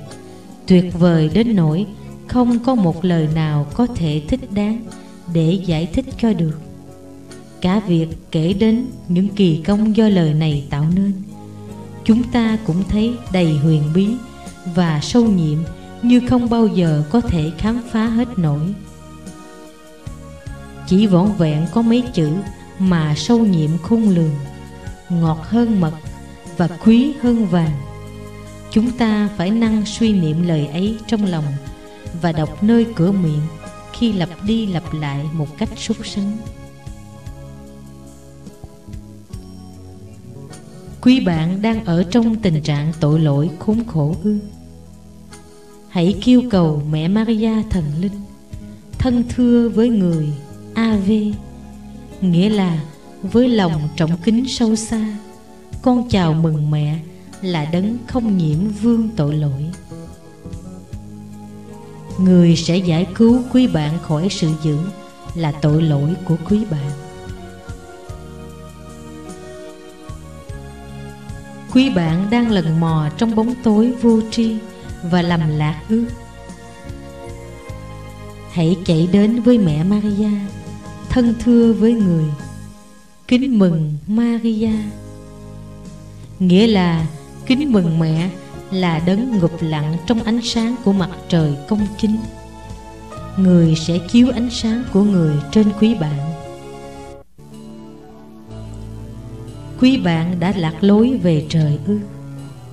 Hãy kêu cầu mẹ Maria Vì tên của người là sao biển.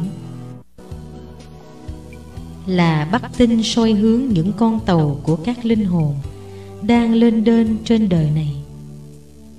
Mẹ sẽ soi dẫn quý bạn Tới bến bờ cứu rỗi đời đời. Quý bạn sầu thương ư?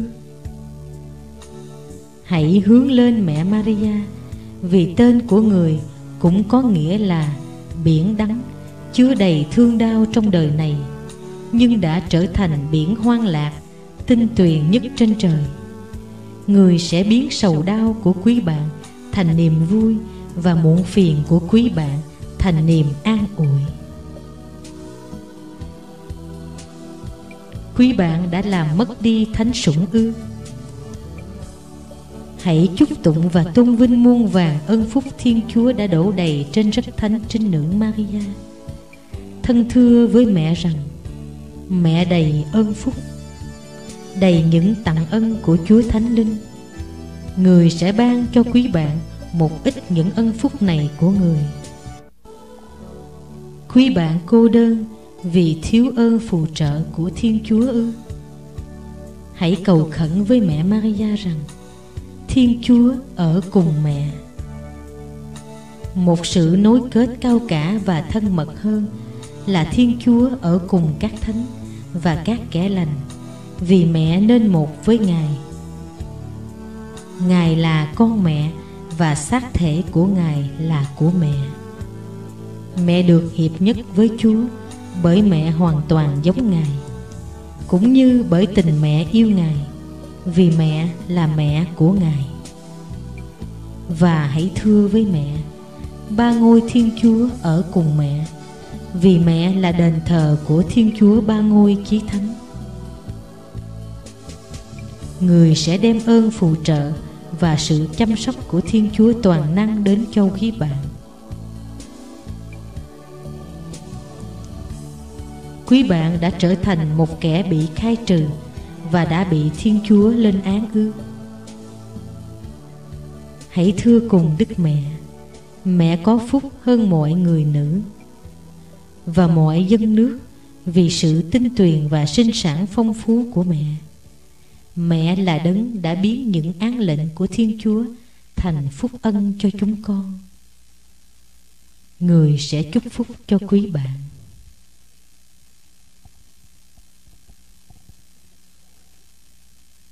Quý bạn đối khát bánh ân sủng và bánh sự sống ư.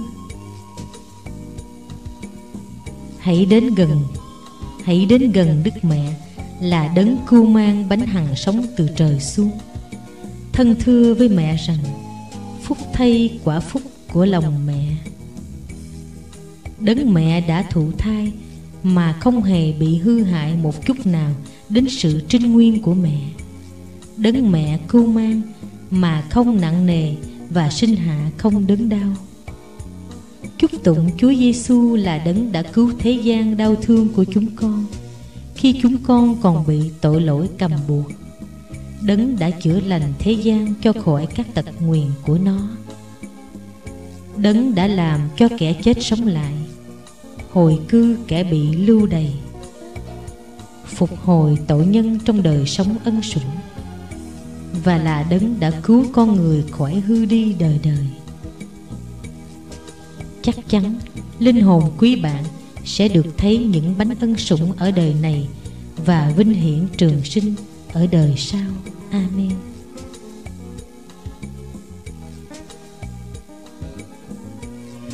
Thế rồi vào cuối kinh nguyện, quý bạn hãy cùng với mẹ thánh giáo hội cầu khẩn.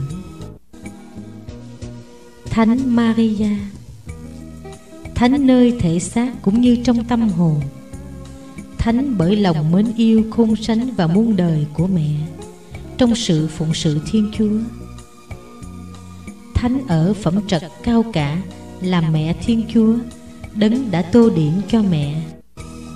Một sự thiện hảo tuyệt vời là ưu phẩm tương xứng với thân phận cao trọng này. Đức mẹ chúa trời cũng là mẹ của chúng con, là đấng bầu cử và trung gian, là kho tàng ân phúc của thiên chúa đấng ban phát ân sủng tùy theo ý mình. Ôi, chúng con khẩn nài mẹ, xin cho chúng con mau chóng ơn thứ tha tội lỗi và biết làm hòa cùng thiên chúa vô cùng uy nghi. Cầu cho chúng con là kẻ có tội. Mẹ là đấng đầy tình thương, đối với những ai cần đến mẹ mẹ là đấng không khi nào khinh chê tội nhân, không bao giờ chối từ họ. Nhưng vì cho họ, mẹ luôn mãi là mẹ đấng cứu thế.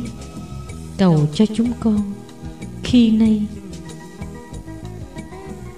Trong cuộc đời ngắn ngủi này đầy những sầu đau và giả tạo, cầu cho chúng con khi nay. Khi nay vì chúng con chẳng chắc được điều gì cả ngoại trừ giây phút hiện tại. Cầu cho chúng con khi nay. Lúc mà ngày đêm chúng con bị tấn công bởi những kẻ thù hiểm ác hung tàn. Cầu cho chúng con khi nay và trong giờ lâm tử. Thật kinh hoàng và đầy hiểm nguy, khi mà sức chúng con kiệt quệ, tâm thần chìm đắm cả hồn lẫn xác đớn đau sợ hãi rã rời. Cầu cho chúng con trong giờ lâm tử. Khi mà ma quỷ ra tay, dốc toàn lực, chụp bắt và ném chúng con vào chốn trầm luân đời đời. Cầu cho chúng con vào lúc dứt điểm khi mà sự chết mãi mãi bị loại trừ và thân phận của chúng con đời đời kiếp kiếp sẽ ở trên trời hay trong hỏa ngục. Hãy đến cứu giúp con cái đáng thương của mẹ. Hỡi mẹ dịu hiền của tình thương, ôi sự bào chữa và nơi nương náu của tội nhân. Xin bảo hộ chúng con trong giờ lâm tử, loại trừ cho xa khỏi chúng con những kẻ thù hờn căm chúng con là ma quỷ thành phần cáo tội chúng con. Mà sự hiện diện rùng rợn của chúng làm chúng con kinh hãi. Hãy chiếu soi đường nẻo chúng con đi cho qua thung lũng tối tăm sự chết. Xin làm ơn, lạy mẹ, hướng dẫn chúng con đến tòa phán xét của con mẹ và đừng bỏ rơi chúng con ở đó. Hãy can thiệp cho chúng con xin con mẹ tha cho chúng con. Cho chúng con vào thành phần chân phước, thành phần mẹ tuyển chọn, trong cõi đời đời vinh phúc. Amen.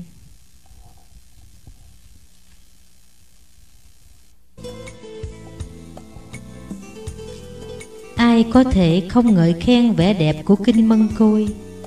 Một kinh được tạo nên bởi hai điều thuộc về trời cao. Điều thứ nhất là kinh lạy cha. Điều thứ hai là lời chào thiên thần. Còn một kinh nào có thể làm đẹp lòng thiên chúa toàn năng và thánh nữ đồng trinh hơn, dễ đọc hơn, quý báu hơn, ích lợi hơn hai kinh này? Chúng ta phải luôn ôm ấp hai kinh này trong lòng và bộc phát nơi môi miệng của mình để tôn vinh Thiên Chúa Ba Ngôi Chí Thánh, Chúa Giêsu Kitô, Chúa Cứu Thế và Mẹ rất thánh của Ngài. Thêm vào đó, ở cuối mỗi chục kinh thật là đẹp khi được kết thúc bằng một kinh sáng danh với câu sáng danh Đức Chúa Cha và Đức Chúa Con và Đức Chúa Thánh Thần như đã có trước vô cùng và bây giờ và hằng có và đời đời chẳng cùng. Amen.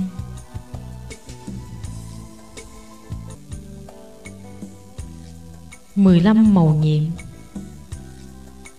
Màu nhiệm là một điều thiện hảo, khó triệt thống các việc làm của Chúa Giêsu Kitô Chúa chúng ta hoàn toàn thánh hảo và linh thiêng. Vì Ngài một lúc vừa là Chúa, vừa là người. Những việc làm của rất thánh trinh nữ Maria cũng rất thánh hảo, vì người là tạo vật toàn hảo và tinh tuyền nhất của Thiên Chúa. Các việc làm của Chúa Giêsu và người mẹ phúc đức của Ngài có thể gọi đúng nghĩa là mầu nhiệm.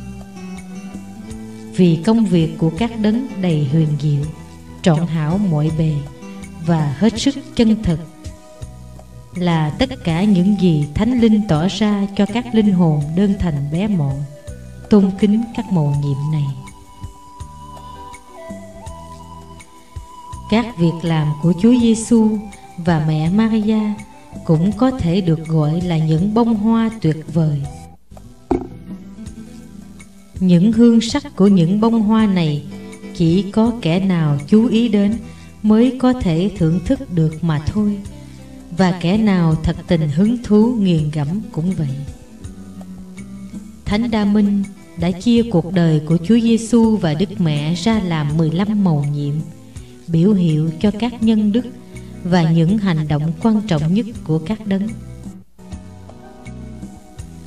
Đây là 15 biểu đồ hay 15 bức họa với những chi tiết chỉ dẫn và phấn khích cuộc đời của chúng ta.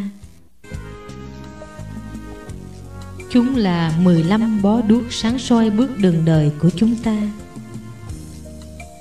Chúng là 15 bức gương soi giúp chúng ta hiểu biết Chúa Giêsu, mẹ Maria và cả chính mình chúng ta nữa chúng cũng sẽ làm bùng cháy lên ngọn lửa yêu thương trong lòng của chúng ta đức mẹ dạy cho thánh đa minh phương pháp cầu nguyện tuyệt hảo này và truyền ngài phải rao giảng cho rộng rãi để thức tỉnh lòng đạo đức của các giáo hữu và hồi phục tình yêu Chúa Giêsu trong lòng họ. Đức Mẹ cũng dạy cho chân phước Alain de la Roche. Nói với Ngài trong một thị kiến là, khi người ta đọc 150 lời chào kính thiên thần, thì kinh nguyện này vốn đã bổ ích cho họ và rất hài lòng mẹ rồi. Thế nhưng, lợi cho họ hơn nữa, cũng như làm đẹp lòng mẹ hơn nữa. Nếu họ vừa đọc, vừa suy niệm về cuộc đời và cuộc tử nạn của Chúa Giêsu Kitô. Vì sự suy niệm ấy là linh hồn của kinh nguyện này. Thật vậy, đọc kinh Mân Côi mà không suy gẫm các màu nhiệm cứu rỗi thánh hảo thì không khác gì có xác mà không có hồn. Chất thể tuyệt hảo mà thiếu mất mô thức là sự suy gẫm một việc suy gẫm vốn trỗi vượt hơn tất cả mọi việc tôn sùng khác. Phần nhất của kinh mân côi gồm có năm màu nhiệm. Thứ nhất, tổng thần gabriel truyền tin cho đức mẹ. Thứ hai, đức mẹ viếng thăm chị họ mình là isabel. Thứ ba, chúa giêsu giáng sinh. Thứ bốn Đức Mẹ thanh tẩy và dân Chúa Giêsu trong đền thánh. Và thứ năm, tìm được Chúa Giêsu trong đền thánh đang ở giữa các vị luật sĩ. Các mầu nhiệm này được gọi là các mầu nhiệm hoang lạc vì niềm hoang lạc do các mầu nhiệm này mang lại cho hoàng vũ. Đức Mẹ và các thiên thần tràn ngập hân hoan khi con Thiên Chúa nhập thể. Bà Thánh Isabel và Thánh Nhi Doan Tẩy Giả tràn đầy hân hoan vì được Chúa Giêsu và mẹ Maria thăm viếng. Trời đất hoang lạc khi Chúa cứu thế Giáng sinh. Ông già Simeon Thánh Đức được an ủi và tràn đầy hân hoan khi ông ẩm trẻ thánh trong tay mình các luật sĩ lạ lùng bỡ ngỡ trước những đối đáp của Chúa Giêsu và ai có thể diễn tả được nỗi vui mừng của mẹ Maria và Thánh Giuse khi các ngài gặp được con trẻ Giêsu sau ba ngày lạc mất. Phần thứ hai của Kinh Mân Côi cũng được làm nên bởi năm màu nhiệm, gọi là năm màu nhiệm thương đau. Vì các màu nhiệm này diễn thuật lại cho chúng ta về trường hợp của Chúa Giêsu nặng sầu muộn, đẫm vết thương, đầy nhục nhã, đớn đau và khổ hình. Mầu nhiệm thứ nhất, Chúa Giêsu cầu nguyện và hấp hối trong vườn cây dầu. Mầu nhiệm thứ hai, người chịu đánh đòn. Mầu nhiệm thứ ba, người chịu đội mão gai. Mầu nhiệm thứ bốn, Chúa Giêsu vác cây thập giá và màu nhiệm thứ năm, người tử giá trên đồi Canver. Phần thứ ba của kinh Mân Côi gồm năm màu nhiệm, được gọi là năm màu nhiệm vinh hiển vì khi chúng ta ngắm đến các màu nhiệm này, chúng ta suy niệm đến cuộc vinh thắng của Chúa Giêsu và mẹ Maria. Thứ nhất là màu nhiệm Chúa Giêsu Kitô phục sinh. Thứ hai là màu nhiệm Ngài Thăng Thiên. Thứ ba là màu nhiệm Thánh Linh hiện xuống trên các thánh tông đồ. Màu nhiệm thứ bốn là màu nhiệm Đức Bà Mông Triệu. Và màu nhiệm thứ năm là màu nhiệm Đức Mẹ được tôn làm nữ vương ở trên trời. Đây là 15 bó hoa thơm ngát của cây hồng huyền nhiệm mà những linh hồn sốt sắng như những con ong khung lanh, bay đến để hút nhụy hoa làm mật cho việc thành thực sùng kính của mình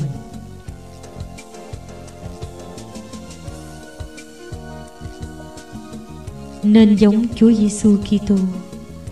Sự quan tâm chính yếu của một người Kitô hữu là phải nhắm trở nên hoàn thiện. Thánh Phaolô bảo chúng ta: anh em hãy là những người bắt chước Thiên Chúa, như những đứa con mến thương nhất của Ngài. Phận sự này nằm trong ơn tiền định đời đời của chúng ta như phương thế duy nhất Thiên Chúa ấn định để đạt đến vinh phúc đời đời. Thánh Geronimo Nisia cho chúng ta một so sánh đẹp đẽ khi nói rằng chúng ta tất cả là những họa sĩ và linh hồn của chúng ta là những bức phong còn nguyên mà chúng ta phải vẽ lên. Màu sắc chúng ta phải dùng là các nhân đức Kitô giáo và người mẫu là Chúa Giêsu Kitô. Hình ảnh sống động toàn thiện của Thiên Chúa ngôi Cha. Như một họa sĩ nổi danh. Muốn thực hiện bức tranh thật đẹp đặt mình trước mẫu vẽ ngắm nghía cẩn thận trước mỗi nét vẽ thế nào. Cũng vậy người Kitô hữu phải luôn luôn đặt cuộc đời và các nhân đức của Chúa Giêsu Kitô trước mắt để không bao giờ họ nói năng, nghĩ tưởng hay hành động một sự gì dù nhỏ mọn nhất mà không hòa hợp với mẫu thức của mình. Vì Đức Mẹ muốn giúp chúng ta trong công cuộc cứu rỗi trọng đại của chúng ta, mà người đã truyền các thánh đa minh dạy cho các giáo hữu, suy niệm các mầu nhiệm thánh đức của cuộc đời Chúa Giêsu Kitô. Đức Mẹ làm như vậy là để họ chẳng những tôn thờ và tôn vinh Ngài, mà còn chính yếu hơn rập khuôn mẫu cuộc đời và tác hành của họ theo các nhân đức của Ngài. Con cái bắt chước cha mẹ bằng cách nhìn vào các ngài và nói với các ngài Chúng biết nói tiếng của chúng là nhờ nghe cha mẹ chúng nói Một người làm thủ công nghệ học nghề qua việc quan sát việc làm của người dạy Cũng vậy, những phần tử trung kiên của Hiệp hội Kinh Mân Côi Có thể trở nên giống như vậy, Giống như vị thần linh của mình Nếu họ cung kính, Học theo gương các nhân đức của Chúa Giêsu Kitô, được tỏ ra qua 15 mầu nhiệm cuộc đời của người. Họ có thể thực hiện được điều này với ơn trợ giúp của người và nhờ lời cầu khẩn của mẹ thánh người. Xưa kia, ông Môi Sen được Thiên Chúa soi sáng đã truyền cho dân Do Thái không bao giờ được quên các ân phúc mà họ đã nhận lãnh. Con Thiên Chúa lại càng có lý do bảo chúng ta khắc sâu vào tâm khảm của chúng ta và đặt trước mắt chúng ta các mầu nhiệm về cuộc sống và tử nạn của người vì mỗi mầu nhiệm đều nhắc cho chúng ta một cách nào đó sự tốt lành của người. Và qua những mầu nhiệm này, người cũng cho chúng ta thấy tình yêu và ước vọng hết mình của người muốn cứu rỗi chúng ta. Chúa Giêsu như muốn nói với chúng ta rằng, Ôi, tất cả các con qua đường, Hãy dừng lại một chút mà xem. Còn sầu khổ nào Như khổ sầu mà cha hằng chịu Vì yêu các con chăng? Hãy nghĩ đến sự bần cùng của cha, Sự khiêm hạ của cha. Hãy nghĩ đến rượu pha mật đắng Mà cha đã uống Vì các con trong cuộc tử nạn đắng cay của cha. Những lời này và nhiều lời khác có thể phát biểu ở đây đã quá đủ để thúc giục chúng ta không được đọc kinh măng côi chỉ bằng miệng lưỡi trong việc tôn kính Chúa Giêsu và Đức Mẹ mà còn phải suy ngẫm các màu nhiệm thánh đang khi đọc kinh này nữa.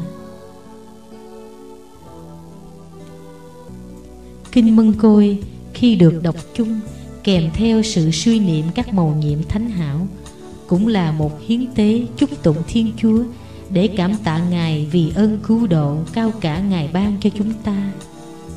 Kinh Mân Côi còn là một tưởng nhớ thánh về những đau khổ, tử nạn và vinh quang của Chúa Giêsu Kitô. Do đó, Kinh Mân Côi thật sự tôn vinh và làm cho Chúa Giêsu, Đức Mẹ và tất cả các chân phước trên trời hoan lạc vì các ngài không còn mong gì hơn hay đóng góp gì hơn cho vĩnh phúc của chúng ta bằng thấy chúng ta gắn bó với việc hết sức làm vinh danh Chúa Giêsu mà lại cũng rất bổ ích cho chính chúng ta nữa. Một người khi tu hữu không suy gẫm các màu nhiệm kinh mân khôi thì thật là vô ơn đối với Chúa Giêsu và tỏ ra họ ít chú ý đến tất cả những gì Chúa cứu thế đã phải chịu để cứu chuộc thế gian. Thái độ này chứng tỏ họ biết ít hay chẳng biết gì về cuộc đời của Chúa Giêsu Kitô, và họ không bao giờ chịu khó để tìm hiểu người về những gì người làm và chịu để cứu chuộc chúng ta. Vậy chúng ta hãy suy niệm về cuộc đời và những đau khổ của Chúa Giêsu Kitô bằng kinh mân côi. Chúng ta hãy đọc biết người cho rõ và hãy biết ơn tất cả những ơn phúc của người để trong ngày chung thẳng